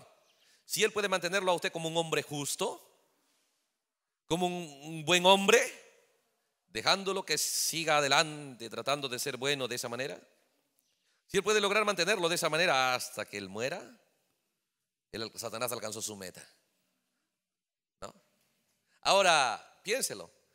Es diferente cuando alguien, pues, un borracho, él, él, sabe que está mal, ¿no? Él sabe que está mal, no está engañado. Pero cuando trabaja en la esfera religiosa, dice, buscar mantenerlo como un hombre justo, ¿no? Como un hombre santo, como un hombre bueno, Hermanos, pero si usted no trabaja para mover al resto de los creyentes a la profundidad de los temas de la palabra de Dios, simplemente no está trabajando, no está bajo el poder de Dios. Puede ser justo, puede ser santo, puede ser pío, puede ser una persona, ve usted, dadivosa, ¿no? Recuerde estas cosas. Por eso digo, pero estamos creyendo una mentira, ¿por qué? Porque la mentira tiene niveles. ¿No? Y es tremenda mentira, porque usted y yo llamamos cristianos porque lo, lo vemos a la persona no hace nada malo puede que esté en los cultos, ¿no? Hace cosas buenas, ¿no? Y de repente se sienta él en el compañerismo. A unos ni eso, ¿no? Pero de repente se sienta en el compañerismo, está todo atento y de repente toma sus notas, pero él no hace eso. El profeta dice, ¿cómo Satanás toma a una persona en su mano, volviéndolo una persona buena, saludada, y todavía está trabajando para el diablo? ¿Por qué? Porque una vez que la persona no trabaja, él no conocerá, porque no, no, no podemos nosotros, ¿ve? No podemos nosotros saber o conocer algo, ¿no? de aquello que nosotros no estamos interesados, de aquello que nosotros no estamos investigando. Usted no se va a poder investigar el mundo de la manera, de la madera y se va a volver experto en, en eh, pues en material para aviones, ¿no? Es otro mundo. Entonces, recuerde esas cosas. Satanás tiene un plan para engañar a la gente, es tan sutil, porque él sabe, no puede hacer nada contra el ser humano, entonces todo su poder se basa en el engaño, y es ahí donde el Espíritu Santo nada más puede ganarlo, porque es el mundo de la verdad. Pero que hay mentiras que usted y yo no sabemos que es mentira. Por ejemplo, usted no sabe que es mentira viviendo una buena vida, no haciendo nada malo. No, a eso llamamos gran vida cristiana. Cuando encontramos la gente congregándose, moviéndose y, y tal vez, eh, no, algunos fomentando el compañerismo, ¿ve? Pero de una manera humana. Oye, vamos al compañerismo, vamos esto, yo te llevo, te pago el pasaje, si quieres vamos a lo oculto, oye, hagamos un almuerzo, cocinemos, todo eso. Pero él no está trabajando por mover la gente a la profundidad de la palabra de Dios. Él no hace eso. Sigue bajo el poder de Satanás. Es una mentira vivir sin trabajar por eso. Es una mentira. Y luego dice, pero ¿por qué me pasará esto? Si yo qué de malo hago. Él está mintiendo, está engañado en su mente, porque piensa que no está haciendo nada malo porque todavía no conoce por la palabra de Dios, ¿no? Que la maldad sigue subiendo de niveles. Es terrible. Por eso la gran salud y la gran realidad para que la persona tenga una liberación total, él tiene que ser alguien que en sus hombros pese la responsabilidad de hacer conocer la palabra de Dios él. Pero lo clásico es nada más asistir a un culto, escuchar una buena, tal vez predicación, una buena enseñanza y ya está. No, hermanos, eso tal vez si el predicador así se mantiene en eso, él ganará en ello, ¿no? Pero que uno de una manera personal puede mantenerse en una buena atmósfera y todo, pero no tiene nada que ver con ser cristiano, no tiene nada que ver con ser salvo, con ser redimido. Porque redención no es recibido como redención, sino ve, si acepto, si aceptó de esa manera, ¿no? Por eso dice aquí, si él puede mantenerlo a usted como un hombre justo, como un hombre, dejándolo que siga adelante, tratando de ser bueno de esa manera, si él puede lograr mantenerlo de esa manera hasta que usted muera, dice Satanás alcanzó su meta. Pues eso es lo que él quiere hacer. Ya lo poseyó, porque no importa cuán justo sea usted, cuán bueno sea usted, cuánta moral tenga usted, cuán limpio sea usted, cuán honesto sea usted. Usted nunca llegará al cielo hasta que usted nazca otra vez. Jesús así lo dijo, usted tiene que hacer, usted tiene que ser regenerado. No hay otra manera por la cual usted puede entrar al cielo. ¿No? Y el nuevo nacimiento y el bautismo del Espíritu Santo es lo mismo. ¿Se da cuenta? Y cuando alguien nació del Espíritu Santo fue sellado, dijo, recibiréis poder, ¿no? Y seréis mis testigos. Testigos de la verdad. Expertos como Esteban en cada tema. Y dice, nadie podía recibir, resistir la sabiduría de Esteban. Pero no tenemos esa misión. No puede usted trabajar en aquello que no le interesa. ¿No? Entonces de esa manera pasan los tiempos. ¿Qué engaño es? Porque si yo no hago nada malo, gloria al Señor, ya no me enojo, ya no me molesto, ya no tengo rencor, ya no tengo esto aparentemente. ¿No? Aparentemente, porque no le han dicho que está mal, haciendo esas cosas tan buenas que parece. Pero cuando usted se junta con alguien que conoce la palabra de Dios, le va a decir, nunca te he visto a ti mover la gente hacia la palabra de Dios. ¿Sí?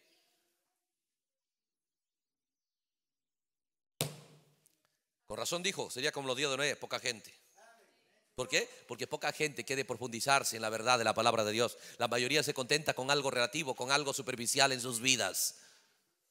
Tiene que despegar fuera de eso. Usted tiene que entender, yo tengo que hacer eso, yo tengo que trabajar por ello. ¿Ve? Porque para eso es el Espíritu Santo, para hacer un paso puesto en servicio. ¿A qué? ¿No? Por esas cosas. Ah, pues, ¿sabe por qué la gente no tiene apetito de eso? ¿Sabe por qué? Porque no tiene los recursos para ello. Para ello se necesita que usted tenga la verdad, que usted lo tenga. No, yo puedo decir a alguien, venga, les invito a unos cuantos helados. Si yo veo mi billetera y veo que me alcanza, ¿no? Entonces yo puedo mover la gente hacia eso, hacia los helados. O hacia cualquier cosa que veo que me alcance. Oh, venga, vamos, les invito, yo pago el taxi, ¿no? Cuando yo veo que me alcanza para eso, ¿por qué no movemos la gente la palabra? Porque no tenemos. Yo me diría, oye, venga para invitarle helados. No, más bien voy al que está invitando, ¿no? Si no tengo. Entonces lo mismo muchas veces, y está bueno, así tenemos que empezar, moviéndonos al que tiene la palabra de Dios, ¿no? Pero no para quedarnos ahí. Entonces nada más, entonces cuando a alguien ya le gustó eso, usted va a darse cuenta que nada más está mirando, ¿quién está invitando el para ir allá? Él no está buscando a ver quién le falta, a quién no le invitaron para invitarlo. Nunca está así. Está bien, uno puede muchas veces ser invitado. ¿Cuántas veces pasamos por ahí? Pero no vamos a quedarnos ahí. No vamos a quedarnos ahí. Oye, ¿quién está invitando esto? Nada más nos gusta ser los invitados, no los que invitan.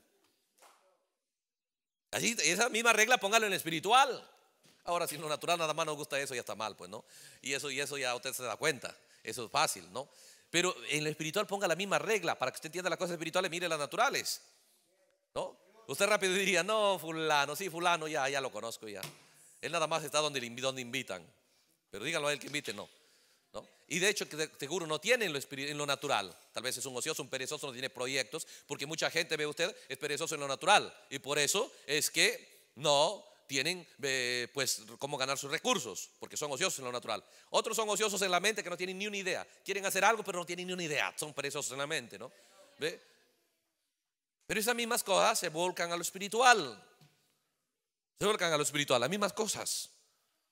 Nosotros tenemos que tomar una decisión de ser gente, porque si le creemos y le damos crédito a esas cosas que hemos estado leyendo, y si Dios permite vamos a ir más leyendo, ¿no? Que el hombre es para ser hecho un Dios. ¿Eh? Entonces eso debe ser una gran responsabilidad. ¿Para qué estoy aquí? Debo decidir primero y a nunca más dar lástima. Tiene que verme poderoso caminando aquí en la tierra, pues Dios, ¿no? Entonces, ¿de qué manera? Y poderme y por ahí insultando gente o abusando de la gente. No, es poderoso para ser una persona como Cristo, ¿no? En, en enseñar, en instruir, en libertar, en bendecir, en cambiar la vida de otros. Fuera de eso, solo camino egoísta, nada más mi propia vida, lo que pase con los demás no me interesa, no quiero mover a otros hacia la palabra de Dios. Dice, ¿cómo Satanás lo tiene bajo su poder? Haciéndole una persona buena. Y usted dice, yo estoy libre del poder de Satanás porque no hago nada malo. ¿Acaso no estamos viendo que es el poder de Satanás y el engaño tremendo? ¿Cómo lo logra eso? Entrando en la soberbia, porque la soberbia lo cegará a que él vaya hacia la verdad. Entonces él entra en ese engaño. Permítame leer el párrafo 54 del mismo mensaje párrafo 54 del mismo mensaje. Así que el diablo está en el fumar cigarrillos. Esa es su forma suavecita, ¿no? Primero empieza, dice, con algo suave, por ejemplo. Y si él ve que eres bastante listo y que vas a captar su truco, y, tú te das cuenta, oye, esto que estoy haciendo no está bien, se empieza a darse cuenta, ¿no? No te dejará que vayas más allá. Por ejemplo, dice, si nada más te das cuenta, no, fumar cigarrillo no es tan malo, me fumo algo. Entonces, ahí nomás, y si él te da cuenta, este no, no, no, no vale presionarlo más. Solo lo dejamos nada más con ese pequeño error, ¿no? Dice, mientras él lo tenga usted agarrado el tiempo suficiente hasta que le quita su vida. Porque él sabe que usted no puede irse hasta que Dios lo haya dicho. Pero usted escucha sermón tras sermón, mensaje tras mensaje y golpe tras golpe en eso. Y advertencia tras advertencia en eso. Y si él lo puede mantener a usted protegido de las advertencias y manteniéndolo su mente en otra cosa, como el ser una persona popular tal vez, o que usted tiene que adquirirlo o algo como eso, Él lo mantiene allí hasta que lo mata. Si Él puede hacer que usted se una a una iglesia y decir, no, voy a ser una buena persona, voy a darle la vuelta a una página, voy a ir a la iglesia, voy a unirme a ella, y si Él lo puede mantenerlo a usted en eso nada más, ¿no? Ser un buen miembro de iglesia, y eso es todo lo que Él tiene que hacer, entonces ya lo agarró a usted. ¿No? En el mundo natural dice, nada más, yo no hago nada malo, nada más, a veces de vez en cuando me fumo un cigarrillo o algo, y no es malo, él está mintiendo eso. Porque ve usted, es un gusto errado que hace daño a su cuerpo. Entonces igual dice, nada más que quede malo, si yo, voy a la iglesia, no hago nada malo, piénselo hermano, y la carga de que la palabra de Dios corra, la verdad corra, él no tiene esa carga. Porque el Espíritu Santo dice, les enseñará toda la verdad. ¿Para qué les enseñará? Jesús dijo, nunca se enciende una luz para esconderlo. Nunca se enciende una luz para esconderlo. ¿No? Pero ¿sabe qué pasa uno? Uno rápido ahí, tiene la palabra y todo. Y se mueve entre los creyentes, ¿no? Porque dice, no, yo quiero hablar a alguien que no sabe nada. Ahí sí, claro, porque no sabe nada, porque con, ¿no? con la poca cosa mediocre que yo tenga ya lo impresiono, ¿no? Pero, ve, pero ¿qué es? Moverse entre el pueblo. La Biblia dice, corrige al sabio. Ahí está el honor, ahí está la honra en el saco, corregir al sabio para que aumente su saber. ¿Cuántos tienen esa carga? De sacar al pueblo de la condición que ya están, ver a sus hermanos la condición que ya están, la condición que ya han avanzado, trabajar para elevarlo más alto. ¿Cuántos tienen esa carga? Por la palabra de Dios puede hacerlo usted, pero ¿cuántos tienen la carga? Solamente el que ama la verdad, porque eso dice Proverbios, que la bendición está en corregir el sabio, en llevar a la gente que ya avanzó, llevarlos a otro nivel. Pero ¿sabe por qué uno no lo hace? Vuelvo a decir, no tiene los recursos. ¿Sí?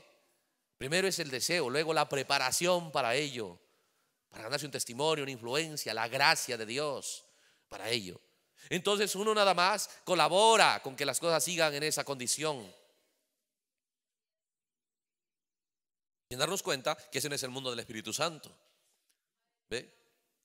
Por eso es el, ve, si él dice, si él lo mantiene ahí, nada más, yendo a la iglesia y todo, él lo tiene agarrado a usted. ¿Ve?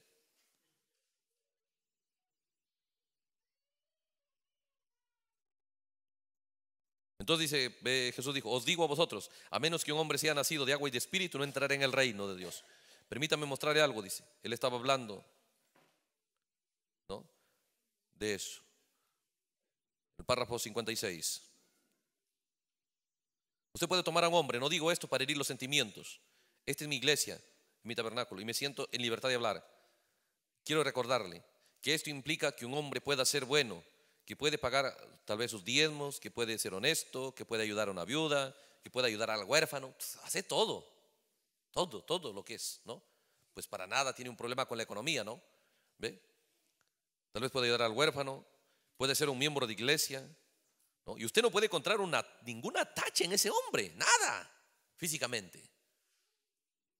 Y cada vez que sucede algo, dice tal vez alguna necesidad, él mete la mano en su bolsillo y da el último centavo que tiene al pobre. Y él estará al lado de cualquiera, dice, en toda dificultad. Y él va a ser su amigo íntimo, aun cuando los demás así llamados amigos le den la espalda a usted. Qué bien, qué, qué persona tremenda, ¿no? Uno estaría impresionado de esa persona. Pero con todo eso, este hombre estará fuera del reino de Dios a menos que haya sido lleno con el Espíritu Santo, con vida eterna. ¿Ah? Por eso le digo, ¿sabe? Nosotros tenemos que salir de la mentira. Estamos hablando, ve usted, cómo la mentira se ha movido a la esfera espiritual para evitar que la gente tenga el Espíritu Santo. ¿Qué recurso está usando la mentira? Está usando esos recursos donde cualquier recurso, con tal que usted esté contento, sin que usted sea el medio por el cual la palabra de Dios está avanzando. ¿Ah? Entonces, muchos de los recursos es, aplaudo para que avance, ayudo, muevo, ve, piénselo, es un engaño, un engaño tremendo. Hago música si quiere si quiere canto, si quiere transmito, si quiere hago audio. Eso es bueno, esas son cosas que van, pero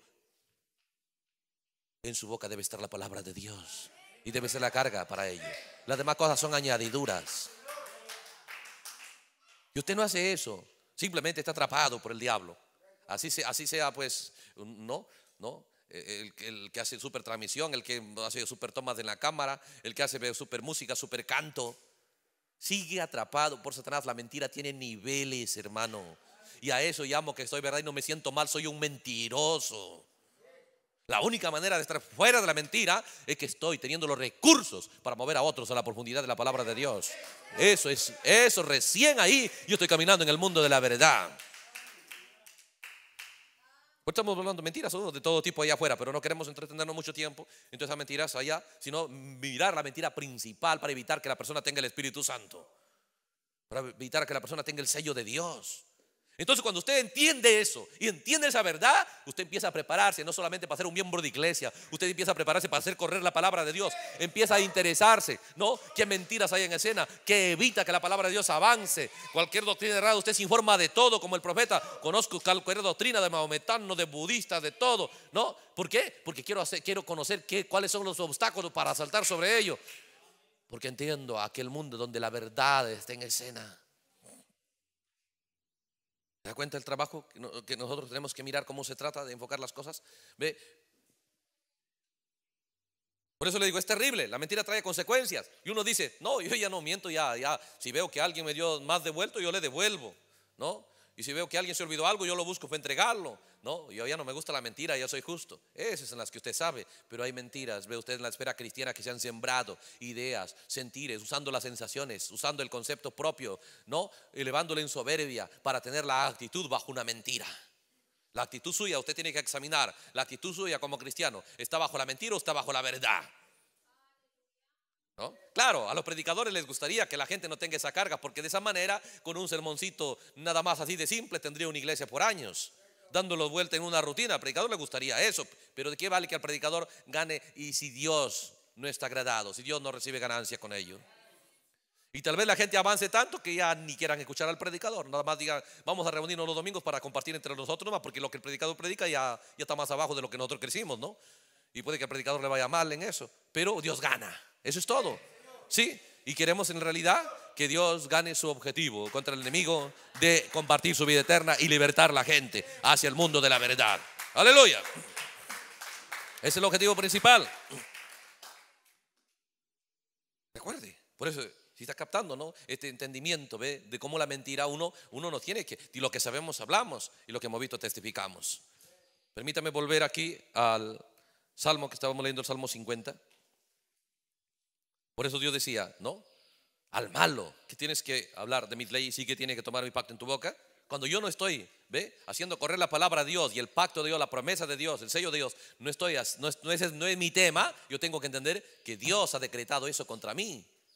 Yo no accedo a eso, es porque estoy bajo el juicio de Dios, es porque estoy en un corazón malo, en un corazón de mentira. Eso no es, no es ninguna broma. Es terrible eso, pero no nos parece terrible por la ignorancia que tenemos. No nos parece terrible por la ignorancia.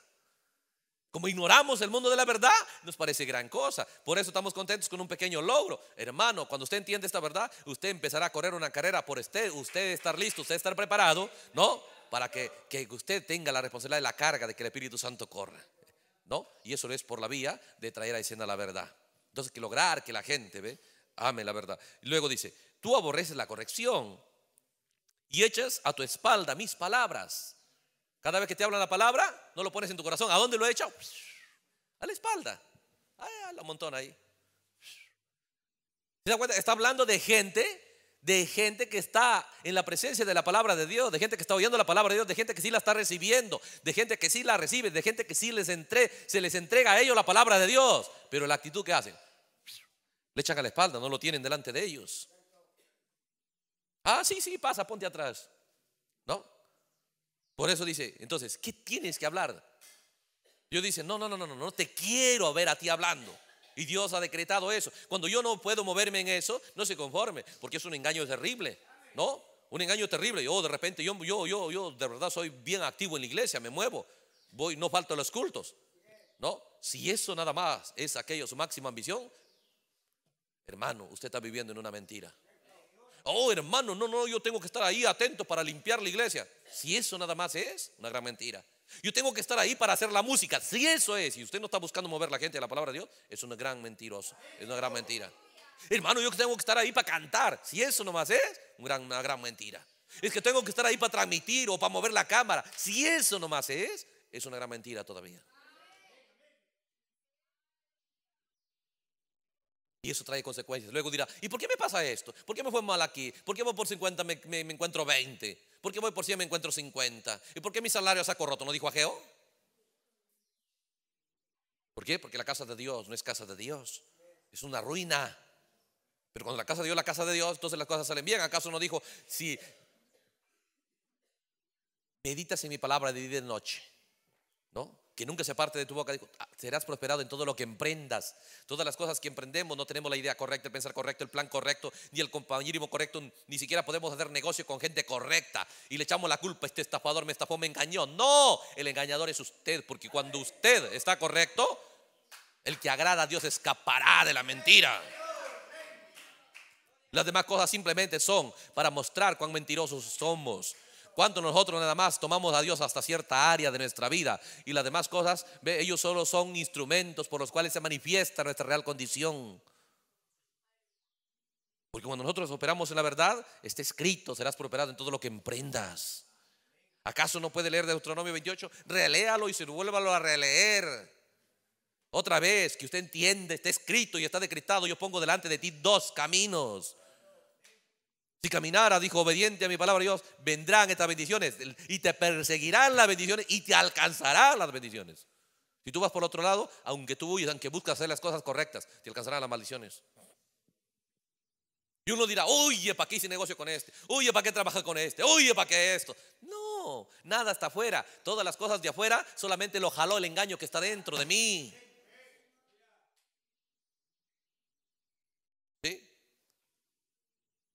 Mirando, ve usted, ¿por, qué, hermano? Hay una realidad mejor para cada creyente, pero queremos decirle dónde está. Y adentro, cuando la mente recibe eso, y cuando la mente, ve usted, la mente, como dijimos ayer, como que cortocircuitos aparecen. ¿Por qué? Porque no está en su cuadro eso. Porque usted no quiere operar eso, no hay en su sentir eso, ¿no?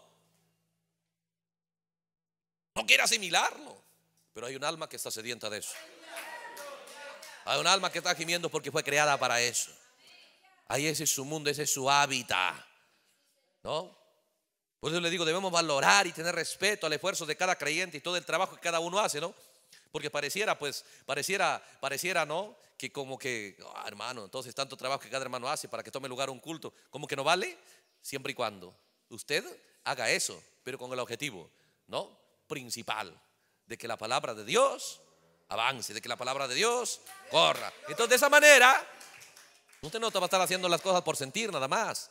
Usted va a entender su música, sus cantos, todo va a estar acondicionado a lo que usted sabe que se necesita para que la palabra de Dios corra, para que la palabra de Dios avance, ¿no? Para que el interés de la persona se despierte. Ya no va a estar ahí que, que, siento esto, que siento lo otro. Usted va a estar libre de eso, ¿no? Pero cuando usted es arrastrado por esas cosas es consecuencia nada más de la mentira, ¿no? Y la mentira se alimenta por el mundo de sensaciones. Algo que a usted le hace sentir bien, pero no examina cuánto repercute a, en el agrado a Dios y en el avance, ve usted, del objetivo correcto, de la verdad. Entonces dice, tú no, no, no, no, no quiero que hable mi palabra, porque tú aborreces la corrección, echas a tu espalda mis palabras, ¿no? Escuche, si ves al ladrón, corrías con él. ¿Qué es? No te interesa, ¿no? Sacar fuera de escena las cosas cerradas. Cuando ves a alguien que está mal, igual, te hace como que no ves nada, como que pasa nada, no te importa, no tienes la carga de ver que las cosas sean hechas bien. No, piensas que no es tu responsabilidad. ¿No? Algunos dicen, sí, me importa, yo voy, yo voy y le digo y esto. No, pues que así no es. Usted no tiene que ir con sus ideas y con su, no, tiene que ir con la escritura. Tiene que ir con su testimonio. Porque con eso sale fuera demonios, fuera de eso no. ¿Ve? Solamente es nutrirlos, es alimentarlos. Por eso dice, tú no quiero que hables. ¿Por qué? Tu testimonio no es el correcto, tu compañerismo no es el correcto. Hermanos, con razón dice la Biblia que si fuera posible este enemigo engañaría al escogido, engañaría para mostrar el mundo del engaño, el mundo de la mentira en un nivel tan alto. ¿Ah? ¿Se da cuenta? Si fuera posible, ve, engañaría. ¿Qué más? Veías al ladrón, corrías con él. Y con los adúlteros era tu parte. ¿No? Usted sin ningún adúltero natural, hermanos, porque no nos interesa saber el mundo de ese espíritu en la esfera de la religiosidad. Escucha esto, tu boca metías en mal.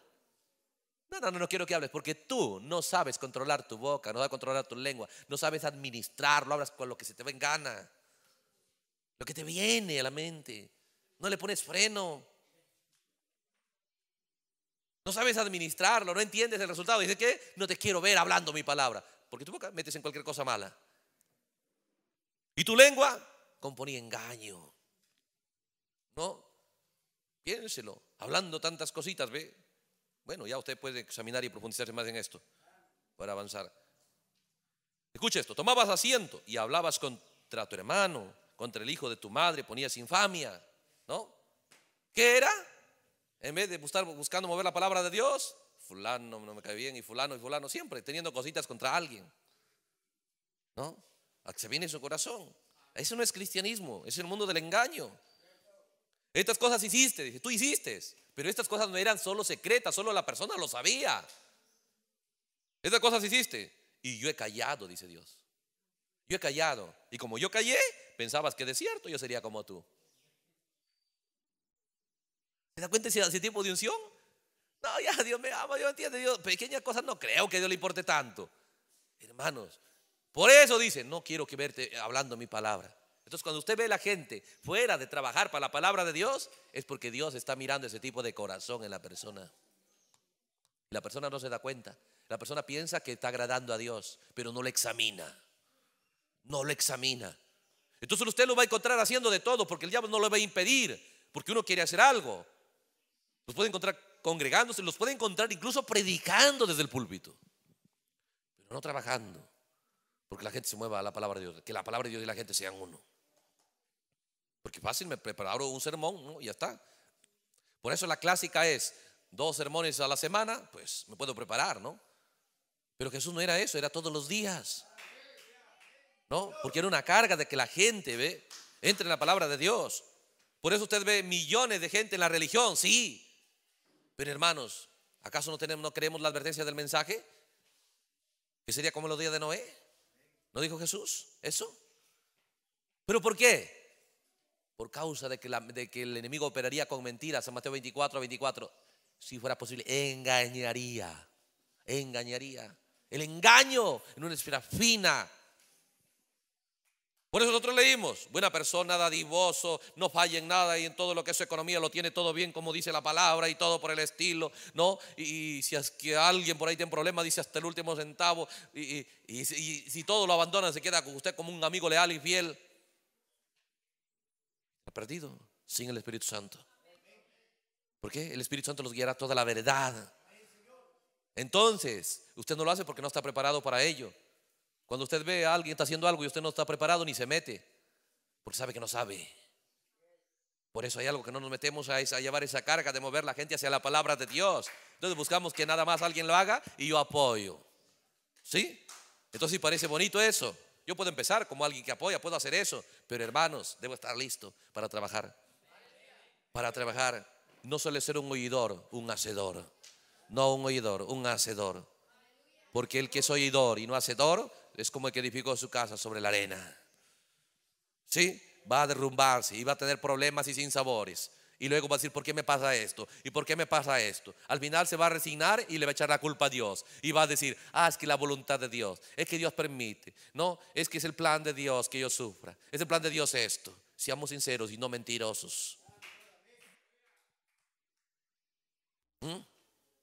Y a veces nada más nos gusta, piénselo, fomentar una atmósfera, fomentar un ánimo, fomentar, ve usted, eh, una actitud a veces de muchas cosas, pero no todo eso bajo el patrón absoluto del avance de la palabra de Dios en cada persona, porque solamente conoceréis la verdad y la verdad os libertará de qué?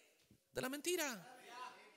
Y la mentira, al libertarnos de la mentira, se nos libertó de enfermedades, nos libertó de depresión, de úlceras, nos libertó de todo tipo de maldad que el ser humano puede pasar de todo tipo de desgracia. ¿Eh? Entonces, ¿de qué se trata la vida cristiana? De gente, hermanos, que tomará esa decisión. Gracias por un culto, por un compañero, por unos cantos. Gracias porque yo puedo hacer esto, a esto. Pero sé lo principal lo que debo estar operando para no estar engañado ni engañando. Es una carga por hacer que la palabra de Dios corra. Y eso lo debo hacer yo. ¿Sí? Recuerde eso. Si usted no está operando eso, si usted no está operando eso, hermanos, sigue en el mundo del engaño. Estamos leyendo esas cosas. ¿Ve? Por eso volvemos a, leer el párrafo 56 de preguntas y respuestas. Dice, usted puede tomar un hombre, yo no digo para ir los sentimientos, dice, en mi iglesia, me siento con libertad de hablar. Pero quiero recordarle, eso implica que un hombre puede ser bueno, que puede pagar sus diezmos, que puede ser honesto, que puede ayudar a la viuda, que puede ayudar al huérfano, que puede ser un miembro de iglesia. Usted no puede encontrar ninguna tacha en ese hombre. Y es un avance tremendo que llegó hasta ahí, pero no llegó hasta el punto final, ¿no? Cada vez que algo sucede, dice, él mete la mano en su bolsillo y da lo último centavo que tiene al pobre. Él estará en su lado, en lado suyo, en toda dificultad. Él va a ser su amigo íntimo, cuando muchos aún así llamados amigos le den la espalda y todo lo demás. Pero con todo eso, este hombre estará fuera del reino de Dios, a menos que él haya sido lleno con el Espíritu Santo, con vida eterna. Así es de importante esto. Esa es la razón por la cual estoy tratando de que mi iglesia lo vea. Estoy orando para que ustedes no piensen que estoy tratando de actuar como sé mucho al respecto, como que sé mucho al respecto de esto. Lo que estoy haciendo es tratar de decirles a ustedes que el diablo es tan engañoso es tan engañoso que lo hará usted actuar como un cristiano. Por eso digo, hay gente que está diciendo que es cristiano, pero otros que sí lo son. ¿No? Y otros están en el proceso, ¿no? Pero dice, el diablo buscará nada más llevarlo a usted a que actúe como cristiano, pero no que sea cristiano. Y tenemos que ver en, en qué mundo estamos, ¿no? Ser sinceros en ello. Debemos amar la verdad, entender que lo terrible vamos a pagarla mal si nosotros operamos en el mundo de la mentira. Vamos a tener consecuencias terribles. ¿Ve? Es tan engañoso, dice el diablo, lo hará que usted actuar como cristiano. Él hará algo que usted, él hará algo y personificará a Cristo tan cerca como el mismo elegido lo hace. La Biblia dice que estará tan cerca como uno del otro y pudiera ser buen hombre. Usted pudiera tener todo eso, ¿no? ¿Ve? Qué tremendo. Leamos otra escritura. Hay una sola manera provista por Dios para cualquier cosa. Hay una sola manera provista por Dios para cualquier cosa. Recuerda, hermano, estamos hablando de gente pues que empezó a despertar a la palabra Dios, empezó a tener logros en su vida, pero no se detenga del objetivo principal. Oh, hay tanta excusa que uno puede poner, es que no soy ministro, no tengo requisitos, no tengo eh, no, cada uno pone sus excusas, ¿por qué? No, porque ha recibido un concepto mentiroso de la religión, que nada más el que sale a aportar y el que tiene la responsabilidad de que la palabra de Dios corra es el que tiene su título de, del ministerio quíntuple, ¿no? El que le impusieron manos y todo eso. Eso son mentiras. Eso debe ser cada cristiano. Por eso el profeta dijo, usted sea así, sea la sirviente en la casa de alguien.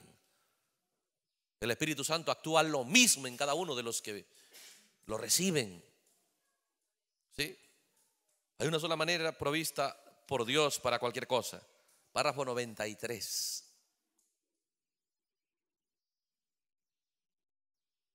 Párrafo 93.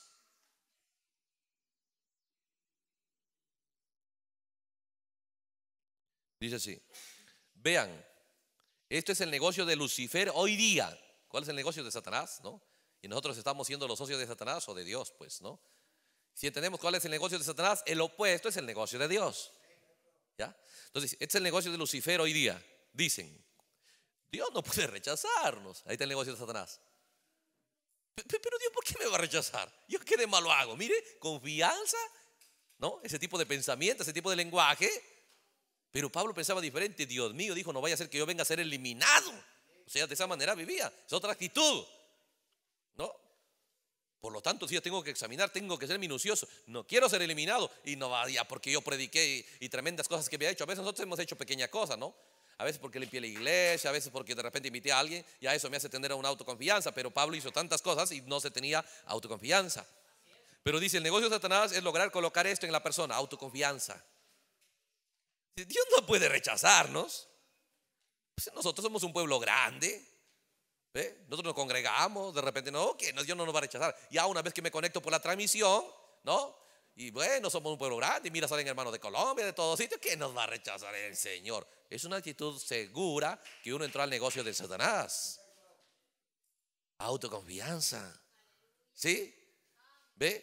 Entonces dice, ve, Vean, este es el negocio de Lucifer hoy día. Dicen, Dios no puede rechazar, nosotros somos un pueblo muy grande, pues ya somos contados en decenas de miles, tal vez hasta millones. ¿Crees que Dios podría rechazarnos? ¿Cree que Dios te va a rechazar? ¿Se da cuenta? Por eso dice el negocio de Satanás. ¿Cómo nosotros fomentaríamos el negocio de Satanás? Hermano, usted tiene que creer y decir que es salvo, diga que es salvo, crea que es salvo, diga que se va en el rapto, diga, diga. Pero no le dice las condiciones para eso. Por eso hay un negocio de Satanás, es fomentar soberbia, fomentar autoconfianza, fomentar seguridad no basada en la escritura. Hay un negocio que el diablo tiene hoy en el mundo del cristianismo, en el mundo de la religión. ¿Se da cuenta? Por eso la gente dice, oh, ¿crees que podría rechazarlo? Dice, no. Él dice, claro que sí, él ya lo ha hecho, dice el profeta. Cuando usted eh, piensa así, ya lo ha hecho. Todo rechazado está así. Por eso dice, dice el salmista, no, allá en el Salmo 50. No, dice, él hacía todo eso. Dios no me puede rechazar. Dice, pensabas que yo sería como tú. ¿Eh? ¿Se da cuenta? Pensabas que yo sería como tú.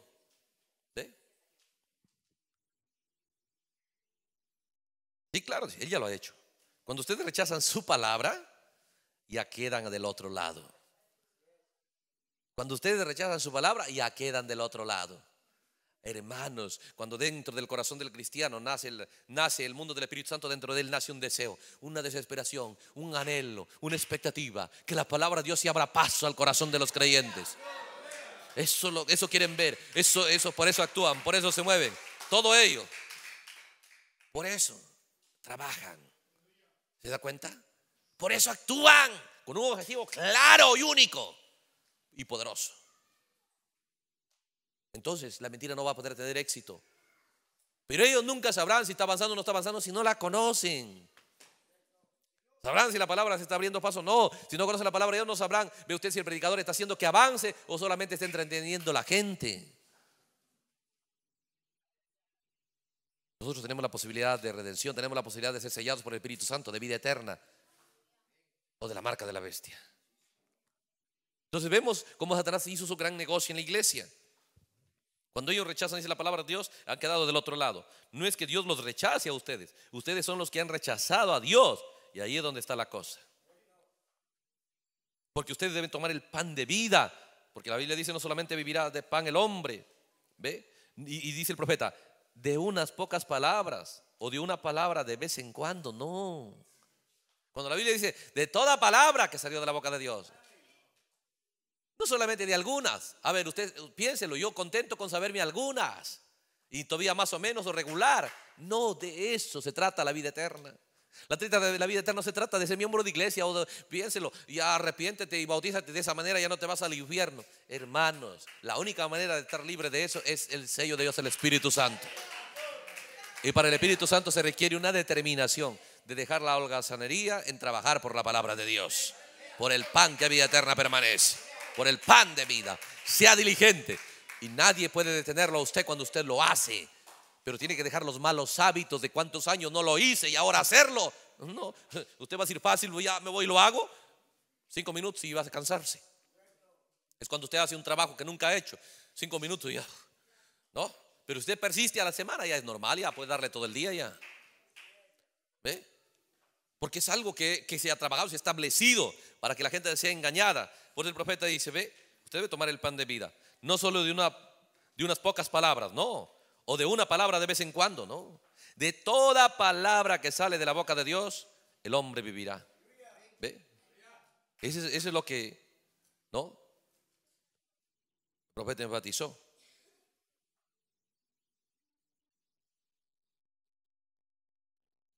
De cómo son las cosas, ¿no? Por eso podemos ver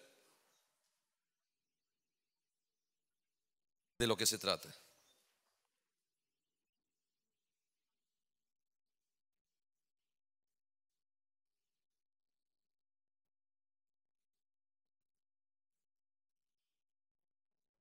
Voy a leer el, vuelta a preguntas y respuestas del año 59 para animarlo a usted. El párrafo 165. Preguntas y respuestas del año 59, párrafo 165. 165. Por eso le digo, no, a ese punto es donde uno tiene que llegar en su vida cristiana, en sus decisiones como creyente. Aleluya.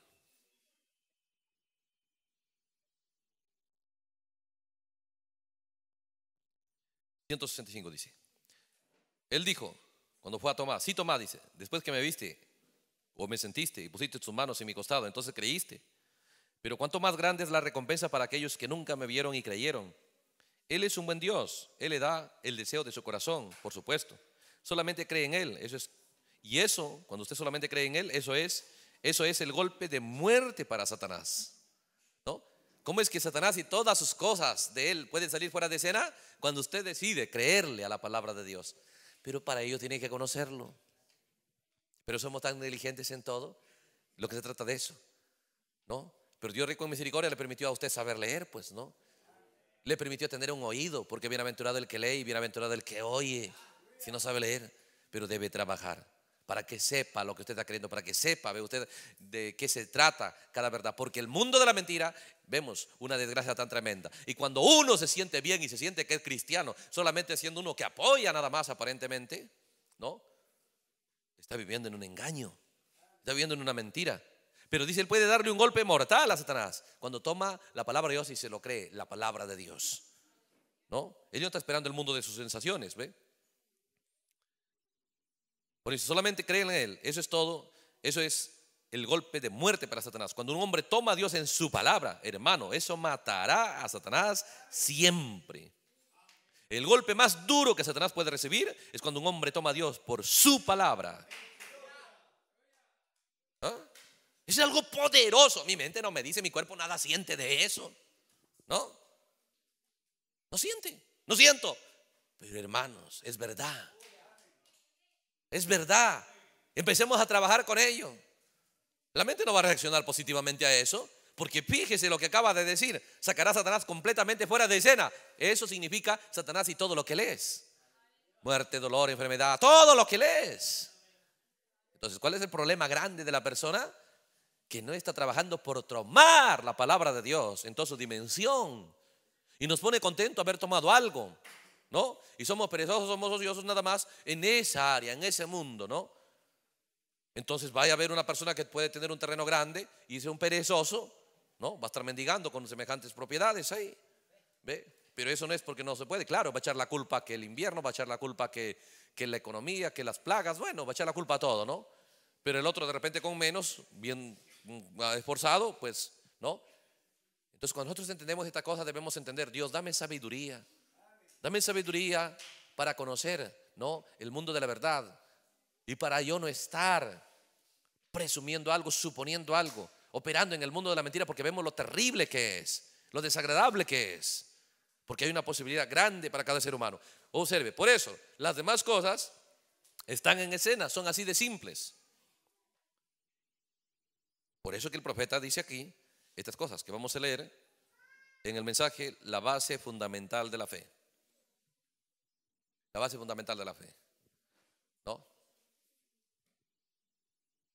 ¿Por qué es así, hermano? ¿No?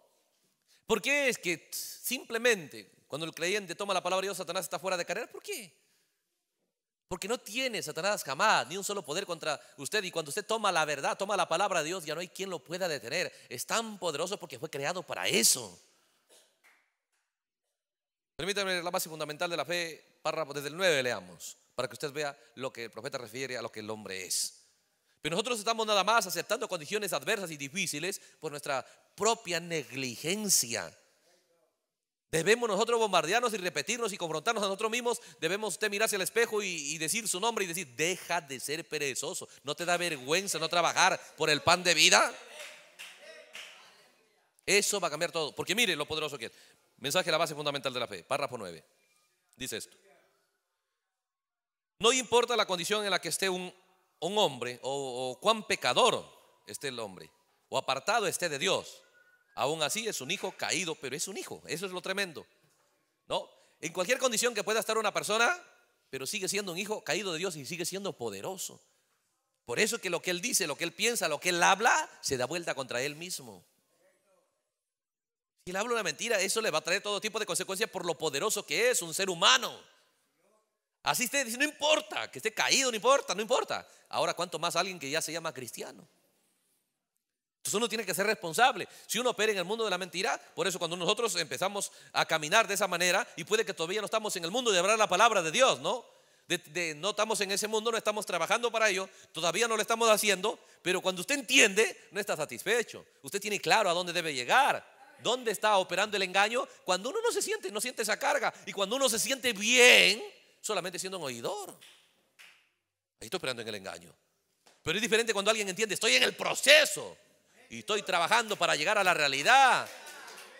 Pero cuando uno ya se sienta tranquilo, dice, gloria al Señor, no hago nada malo, estoy bien, estoy bueno, y cualquier cosa que se trate de lo natural, ahí estoy, ¿no?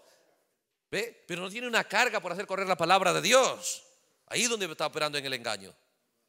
Después, pero cuando alguien entiende y sabe la verdad, él sabe, todavía no he llegado. Y debo trabajar, debo trabajar.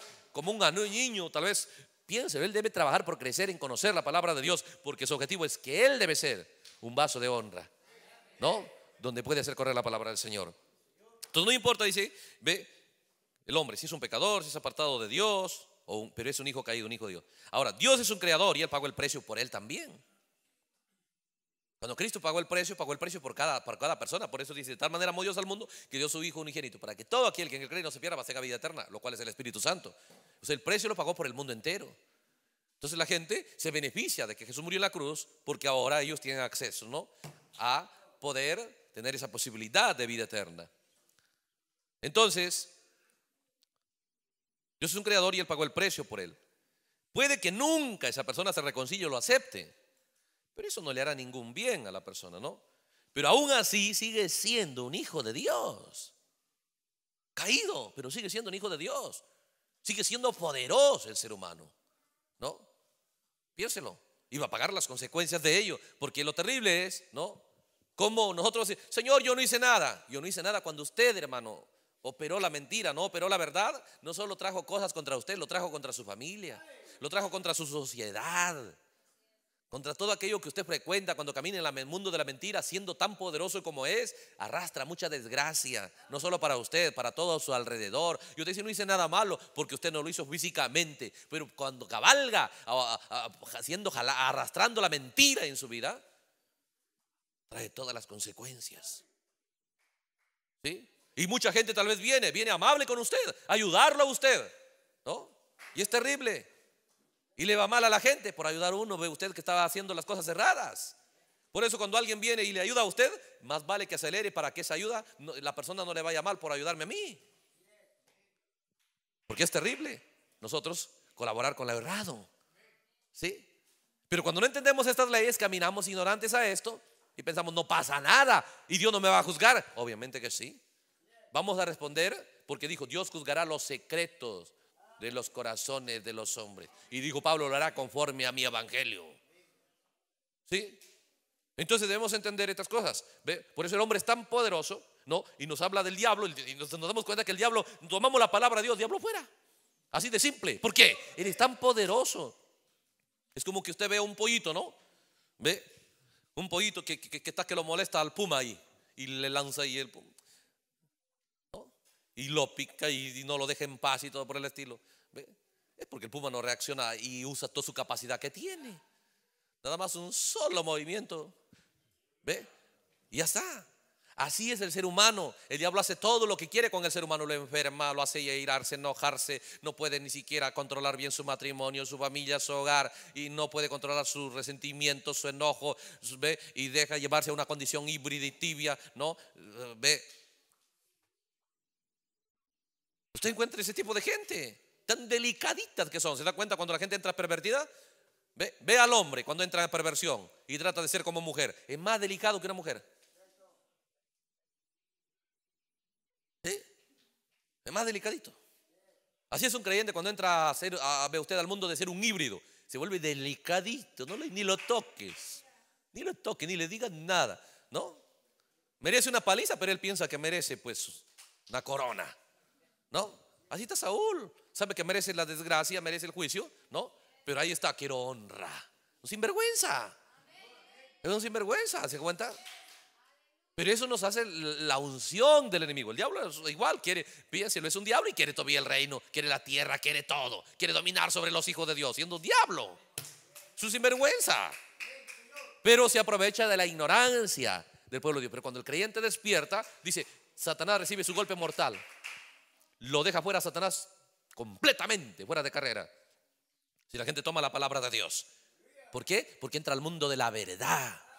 Al mundo donde el Espíritu Santo recién va a guiarlo. Porque el Espíritu Santo no tiene otro tipo de cosa a donde guiarnos, aparte de la palabra de Dios. Entonces ahí Satanás queda fuera de carrera. ¿Por qué? Por lo poderoso que es el ser humano. Porque el ser humano no es cualquier cosa. ¿Ah?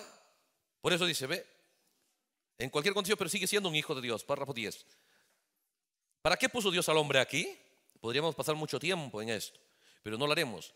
Esta noche solo le daremos una vista superficial y oraremos por los enfermos, porque tal vez otros ministros ya han hablado. Cuando Dios hizo al hombre en el principio, lo hizo superior. Escuche, cuando Dios hizo al hombre en el principio, lo hizo superior a todo lo que había en la tierra. Por eso, por eso, hermano, ah, pero ¿qué? ¿El diablo fuera de carrera de un solo golpe nada mal? ¿Puede sacarlo? Sí por lo poderoso que eres. Solo que no lo sabes. Dejas que, te, te resignas a la mentira. Viene el diablo y te dice, tú eres esto, tú eres esto. No, sobre todo el mundo latino, mucho complejo. ¿Ve? Y uno se lo cree, pero volvamos a creer la palabra de Dios. Es tan poderoso el ser humano. Y fue creado superior a todo. No hay nada superior a él excepto Dios. Pero esa superioridad viene a escena y a manifestación cuando uno decide operar el mundo de la verdad. Y para ello tiene que saberlo, tiene que conocerlo. ¿Cuál es el precio? Nada más, trabajar por la sabiduría de la palabra de Dios. Depende de usted, ¿no? Porque Dios no va a sellar a alguien que no quiera ser perfecto en el entendimiento. ¿Sí? Porque no dice que, que, todos, para eso el ministerio quíntuple, para trabajar para que cada creyente sea perfeccionado a la estatura y al nivel de Cristo en el ministerio, todos, el creyente, en la obra del ministerio. No es solamente para envolvernos en una esfera de iglesia, Dice, cuando Dios hizo al hombre en el principio, lo hizo superior a todo lo que había en la tierra. le dio autoridad sobre todo. Qué tremendo. Para que lo controlara. Él controlaba la vida animal, la vida de las aves, la vida de los peces, la vida del mar, la vida de los vientos. Él controlaba la vida botánica, él gobernaba todo. Puede empezar, puede empezar. Si usted fue controlado para gobernar todo, empiece. Empieza a administrar mejor su huerto, empieza a administrar mejor su casa, empieza a administrar mejor su pensamiento. Usted fue creado para controlar, esa es su naturaleza. Usted ha sido creado para ser rey, empiece un reino de justicia. Somos buenos para criticar a los presidentes naturales. Somos buenos para criticar a los alcaldes que no hacen buen gobierno. Pero empiece a hacer un buen gobierno en su propia vida. Una buena administración en su propio ser. Aleluya. Fue creado para eso. Vemos estas cosas, ¿no? Que la palabra de Dios contiene, ¿no? Y muestra, ¿ve? La realidad en la que nosotros debemos operar. La palabra de Dios nos da el veredicto de ello. ¿no? Entonces, por eso, por eso nos damos cuenta de qué se trata esto. Se trata de amar el mundo de la verdad y eso es que usted debe conocerlo. Estamos mostrando mentiras, mentiras que no nos damos cuenta y no nos parecen. Como por ejemplo ser una buena persona. Y digo, cuando usted dice, uy hermano, qué buen cristiano es ese. No, la única manera de que alguien sea realmente buen cristiano es que usted lo vea, que él tiene la carga de que la palabra de Dios y la gente puedan ser una unidad. Y Él trabaja por eso, Él trabaja por eso. Cada don que tiene lo volca hacia eso. Si es músico, trabajará. ¿Ve usted? Nada más, para, no solamente ella dice una música y se acabó. No, ni a mí termina el culto, él estará fuera, él estará buscando cada hermano para aprovechar a que el creyente se vaya más bien, se vaya bien abarrotado del material de la palabra de Dios para que vaya a trabajar en su vida. Si el cantante igual, pero si está bajo el plan de Satanás, él está solamente siendo dadivoso, buena persona, una persona pía, honorable, pero sin esa carga. Un engaño tremendo, un engaño que no parece engaño. Entonces toda la, la gente está engañada. Soy cristiano cuando uno está en el proceso de ser cristiano. ¿No? ¿Se da cuenta? Entonces es importante esas cosas, ¿ve? ¿Qué le parece? Ahora, ahora es tremendo, ¿no? Porque piénselo nos gusta y cuánto, y cuánto dispuestos estamos a trabajar por ello. ¿Cuánto nosotros queremos ser gente que entra al mundo del Espíritu Santo? Estamos mostrando lo que es entrar al mundo del Espíritu Santo, aquí, ahora, en este tiempo. Ese es el Espíritu Santo ya en acción en esa persona, ¿no? Pero no va a llevarlo Dios contra su voluntad, contra su deseo. Cuando usted escucha estas cosas y el Espíritu Santo está atento a ver cómo usted actúa en su corazón hacia ese enfoque. ¿Cómo usted responde? Si lo ve que usted, cuando uno dice a los niños, ven para leer, mm, y uno ve su cara. Y cuando dice, a ver, lee, y usted no se da cuenta el desánimo con el que lee, ¿no? El menosprecio con el que lee y todo. ¿Por qué? No están haciendo las cosas con gusto, ¿no? Nosotros podemos ver, eh, decir tantas cosas, pero ¿qué es? El Espíritu Santo simplemente se retira, Él no obliga. Él se retira y cuando se retira, ¿qué es lo que pasa? Nuestro pensamiento es pervertido. Y pensamos que Dios simplemente no me puede rechazar porque yo, yo digo que me voy en el rapto, yo digo y el yo, y el yo, y el yo empieza a activarse de una manera terrible. Entonces, párrafo 11 decía, ¿no? El hombre fue, el hombre era un Dios secundario sobre la tierra, con el poder de controlar todos los elementos. Qué tremenda declaración, ¿no? No solamente leámoslos, porque no estamos leyendo una historia, no estamos leyendo un libro cualquiera, estamos leyendo un veredicto de nuestra realidad. Ahora, si nos atrevemos a creerlo, entonces tiene que haber una razón, una, una, una forma cómo acceder a ello para controlarlo todo. Entonces, entonces, ¿cómo yo voy a estar, hermano, no tengo problema, tengo quejándome? No, cada cosa que viene contra mí tengo que rápidamente reaccionar diferente. Cualquier problema que viene, automáticamente, si yo creo la palabra de Dios, muy bien, vino este problema, significa que si yo lo dejo entrar es porque Él quiere que yo lo solucione. Muy bien, a ver cómo controlo esta situación. A ver cómo, cómo, cómo, cómo salir de esta situación. Cómo superar esta situación. Cómo volar más alto que esta situación errada. Si es en la familia, si es en el hogar, si es con los hijos, si es en el trabajo, ve usted en el negocio, en lo que sea. ¿No? ¿Qué dice la palabra de Dios? ¿Cómo debo emprender esto? Pero no, rápidamente uno se resigna, tengo problemas. ¿No? Y buscando que alguien lo solucione. ¿No? Sí, tengo problemas en mi hogar. ¿Y por qué no lo solucionas? ¿Ah? Hoy tengo problema con mi esposa. ¿Y qué pasó? ¿Por qué no lo solucionaste? ¿Qué pasa? Que el mecánico venga usted hoy, ¿sabes qué? Allá tengo un carro, me han venido a dejar un carro malogrado, dicen que lo arregle, que venga a consultarlo a usted que no sabe nada de mecánica. Usted le diría, ¿tienes un carro malogrado? Ya, pues, solucionalo y te vas a ganar tu, tu... Sí, pero no sé si yo podré. Entonces, si acaso no, no, si, para, si no puedes, ¿para qué has puesto tu taller de mecánica ahí? ¿Ah? Si no puedes, ¿para qué has puesto? Entonces, cuando nos llamamos cristianos, y si no puedes solucionar un problema, ¿para qué has puesto tu, tu título de cristiano, pues? Porque un cristiano, ve usted, oh hermano, ya no hay, ya, él, él vuelve al principio, él vuelve a creer la palabra de Dios que le declara que él tiene el control de todo. Solamente como Salomón hay que suplicar, dame Señor la sabiduría, dame el entendimiento para saber cómo cambiar mi realidad, cómo cambiar esta situación adversa. Nunca mirar el problema más grande que usted. Usted puede solucionar cualquier cosa.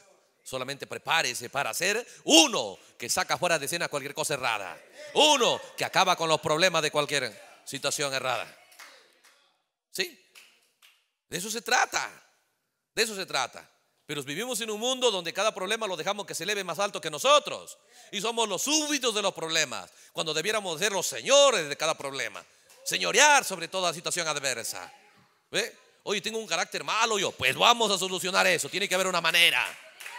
Oye, tengo preocupación. Vamos a ver cómo salimos de eso. Soy desesperado. Vamos a ver cómo salimos de eso. ¿Ve? Yo soy un poco melancólico y lo que no ayuda. Vamos a ver cómo salimos de eso. Soy un resentido. Vamos a ver cómo salimos de eso. ¿Sí? Yo no tengo influencia, no tengo testimonio. Vamos a ver cómo salimos de eso. Hermano, estoy enfermo. Vamos a ver cómo salimos de eso.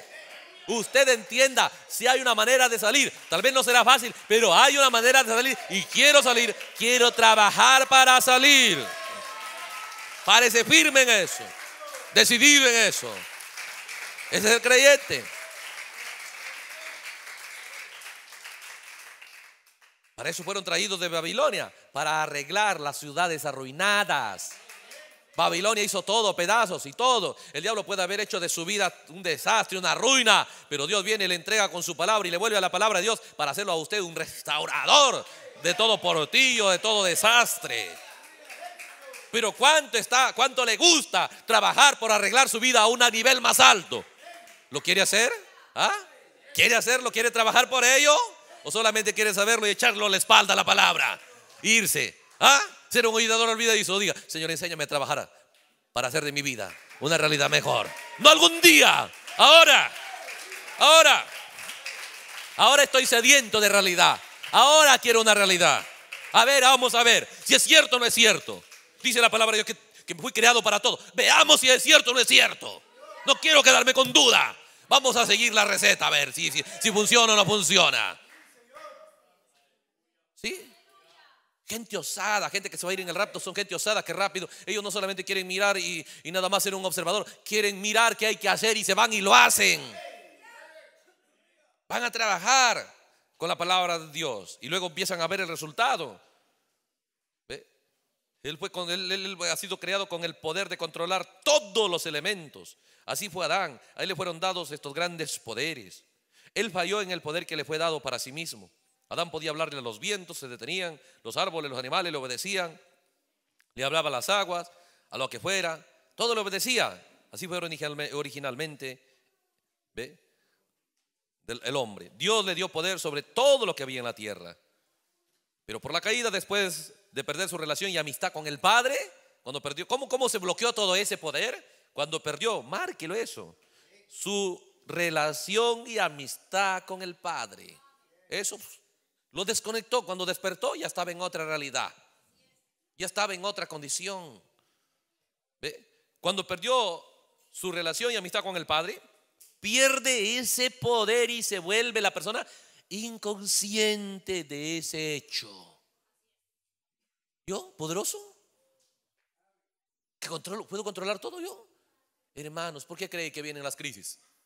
Porque se siembra a través de la televisión, los grandes países capitalistas siembran, ve usted, un programa para hacer una cultura, siembran programas a través de la, de la, televisión para que muestren, las noticias están programadas para mostrarlo al televidente, al que lee diarios, las desgracias que pasan. Solo las desgracias, todas las cosas más horribles. Si alguien se robó algo, si alguien se accidentó, si alguien, si alguien asaltó, si alguien secuestró, todo eso para que la persona entienda mi país tiene un caos y lo hable. Para que la persona diga, uy, todo está mal, todo es horrible, uy, todo es peligro. Y lo hablan y lo hablan, entonces sucede.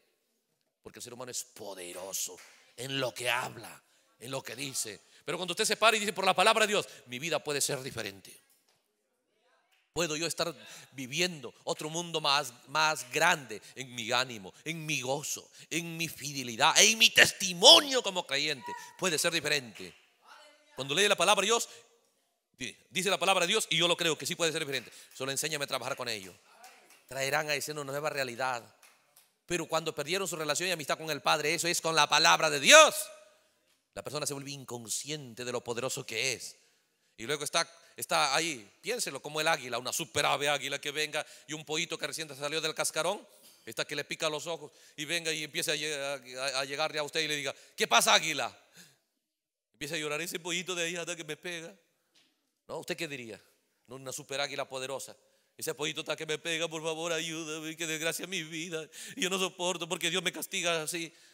¿No? le daría su golpe y le diría, despierta, déjate de quejarte. ¿Sí? Entonces, ¿qué hago? ¿Mato al pollo? No, no, nada más elévate 10 metros a ver si te alcanza el pollo. ¿Mm? Lo mismo, ve, usted eleva hacia otro nivel. Entonces viene, yo no soporto y si lo mi esposa y llego, ya me está tratando, ya me está llamando la atención, ya me está diciendo por esto y no soporto. Elévate a otro nivel más alto de la ira, del enojo, de prestar atención a las cosas cerradas. No responda de la misma manera, ¿no dice la Biblia? Responde de una respuesta blanda, pues acabó con todo poder de ira, de enojo, de soberbia. Pero si le respondes igualito, pues hermano, ¿ve? Ah, tú me gritas más fuerte a ver quién va a ganar, ¿no? Entonces hay que saber elevarse a un nivel donde las cosas pueden mejorar para cada uno de nosotros. Y eso se requiere trabajo. Eso no va a ser magia, eso se requiere trabajo y eso empieza uno cuando toma la decisión.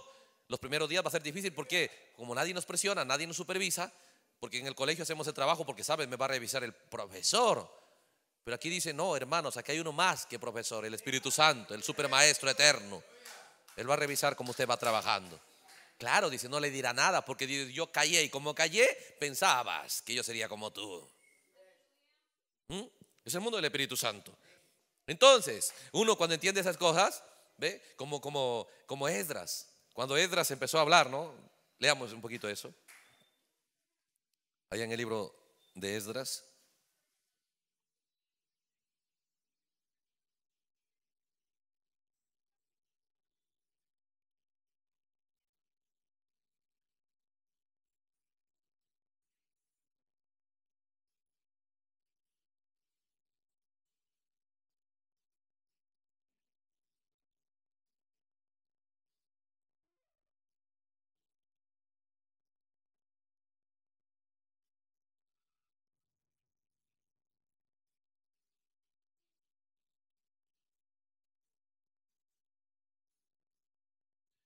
Esdras capítulo 8.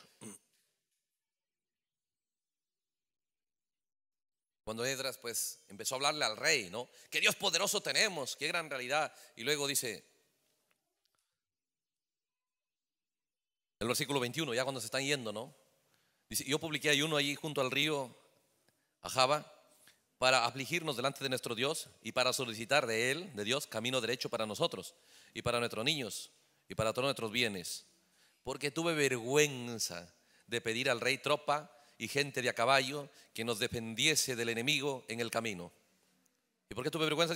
Porque habíamos hablado al rey diciendo, la mano de nuestro Dios es para bien sobre todo lo que le buscan, mas su poder y su furor es contra todos los que le abandonan. Y ahora vamos con oro, vamos con eso y los, los asaltantes en el desierto, ¿no? Y el rey tal vez le dijo, oye, Esdra, ¿no quieres soldado? No, rey, tenemos a Dios suficiente. Y dice, entonces, dice, para, para todo este peligro me dio vergüenza pedirle al rey, porque había hablado de tanto Dios poderoso. Igual, cuando usted empieza a creerle a la palabra de Dios y hablar de eso, le va a dar vergüenza quejarse ya. Le va a dar vergüenza ser un resentido. Porque usted ya va a hablar y va a entender que la palabra de Dios declaró su veredicto sobre esas cosas. Le va a dar vergüenza ser un egoísta, ser un ocioso, un perezoso, ser uno, ve usted que está quejándose de su hogar, de su familia, ¿no? O un predicador quejarse de su iglesia. Todo, usted le va a dar vergüenza las cosas que la palabra de Dios condena. ¿Por qué? Oye, que Dios me ha dado poder sobre todo y estar quejándome. Qué vergüenza, ¿no? Si el águila se da cuenta de lo que es y lo que es el pollito comparado con ella, le va a dar vergüenza venir a quejarse del pollito el águila, ¿no? ¿Ve? ¿Se da cuenta? Entonces, así es el mundo de la vida cristiana, el mundo de la verdad, por donde debemos caminar. Vamos a parar ahí, me doy cuenta que la hora avanzó bastante, ¿no? Pero estamos mirando, ve, el mundo del Espíritu Santo, el mundo de la verdad, el mundo de la mentira como tiene niveles, ¿no? Y cuán capaz es el hombre, cuán poderoso es. Por eso que Dios está mostrando estas cosas en relación en lo que Dios sabe que el hombre haría. Dios no está diciendo que la palomita haría eso, que el corderito por ahí, ¿no? Ellos tipificaron, ¿ve? La realidad de lo que el creyente es, ¿no? Entonces, Dios ha dado al creyente una posibilidad de una realidad gloriosa. Bueno, vamos a parar ahí. Llévese estas escrituras y trabajemos por ello. Recuerde eso, péguelo aunque sea ahí en su puerta. No ser un oidador olvidadizo. No, Señor, sino uno que trabaja con la palabra de Dios. ¿Ve? Dios lo bendiga a cada uno de nuestros hermanos en los diferentes lugares. Vamos a orar y, finalizar. hemos hemos eh, retrasado un poco el tiempo. Amado Señor Jesucristo, gracias por este día que nos has permitido tener de poder, Señor, estar con nuestros hermanos, fijando nuestro, nuestro interés en las verdades de tu palabra, Señor. Que nuestros ojos pues sean tan iluminados, que nuestro ser sea tan iluminado por esa luz de tu palabra, de la cual, Señor, no vuelva vacía tu palabra. Trabaje en cada uno de tus hijos, de tus hijas, con un entendimiento claro del objetivo, Señor, por el cual nosotros debemos luchar para no solamente quedarnos en parte del camino, que no nos engañemos, Señor, con una propuesta de solamente tener logros parciales, pero que tengamos claro la meta final, el objetivo final, para no detenernos y no ponernos contentos y, bien confortados, Señor, en una parte nomás de la realidad. Que entendamos el engaño, Señor, nos persigue hasta el final. Pero cuando nosotros tomamos, Señor, la guianza y el liderazgo del Espíritu Santo, pues seremos movidos a toda la verdad. Y eso es lo que anhelamos, Señor. En el nombre de Jesucristo que encomendamos cada uno de tus hijos a ti, tu palabra sea una ayuda para la fe de cada uno, Señor. En el nombre de Jesucristo, de verdad, Señor, gracias por todo lo que nos has permitido tener en este día, ver en tu palabra y también la fortaleza para cada uno de tus hijos. Y cada hermano, Señor, pueda ser vencido en gran manera. Los hermanos que están en la transmisión, pues ayúdalos, Señor, en los restos del día y también en sus viajes, algunos que han viajado a ciertos lugares pues tu gracia y tu cuidado y tu amor vaya con ellos, pero sus corazones que sigan encendidos con esa luz de tu palabra, en la cual el entendimiento de las verdades, Señor, que nos llevan a la realidad de eternidad, cada día sean, Señor, más claros, más nítidos para cada creyente. En el nombre de Jesús, gracias por todo, Señor. Amén. Dios lo bendiga, hermanos, a todos.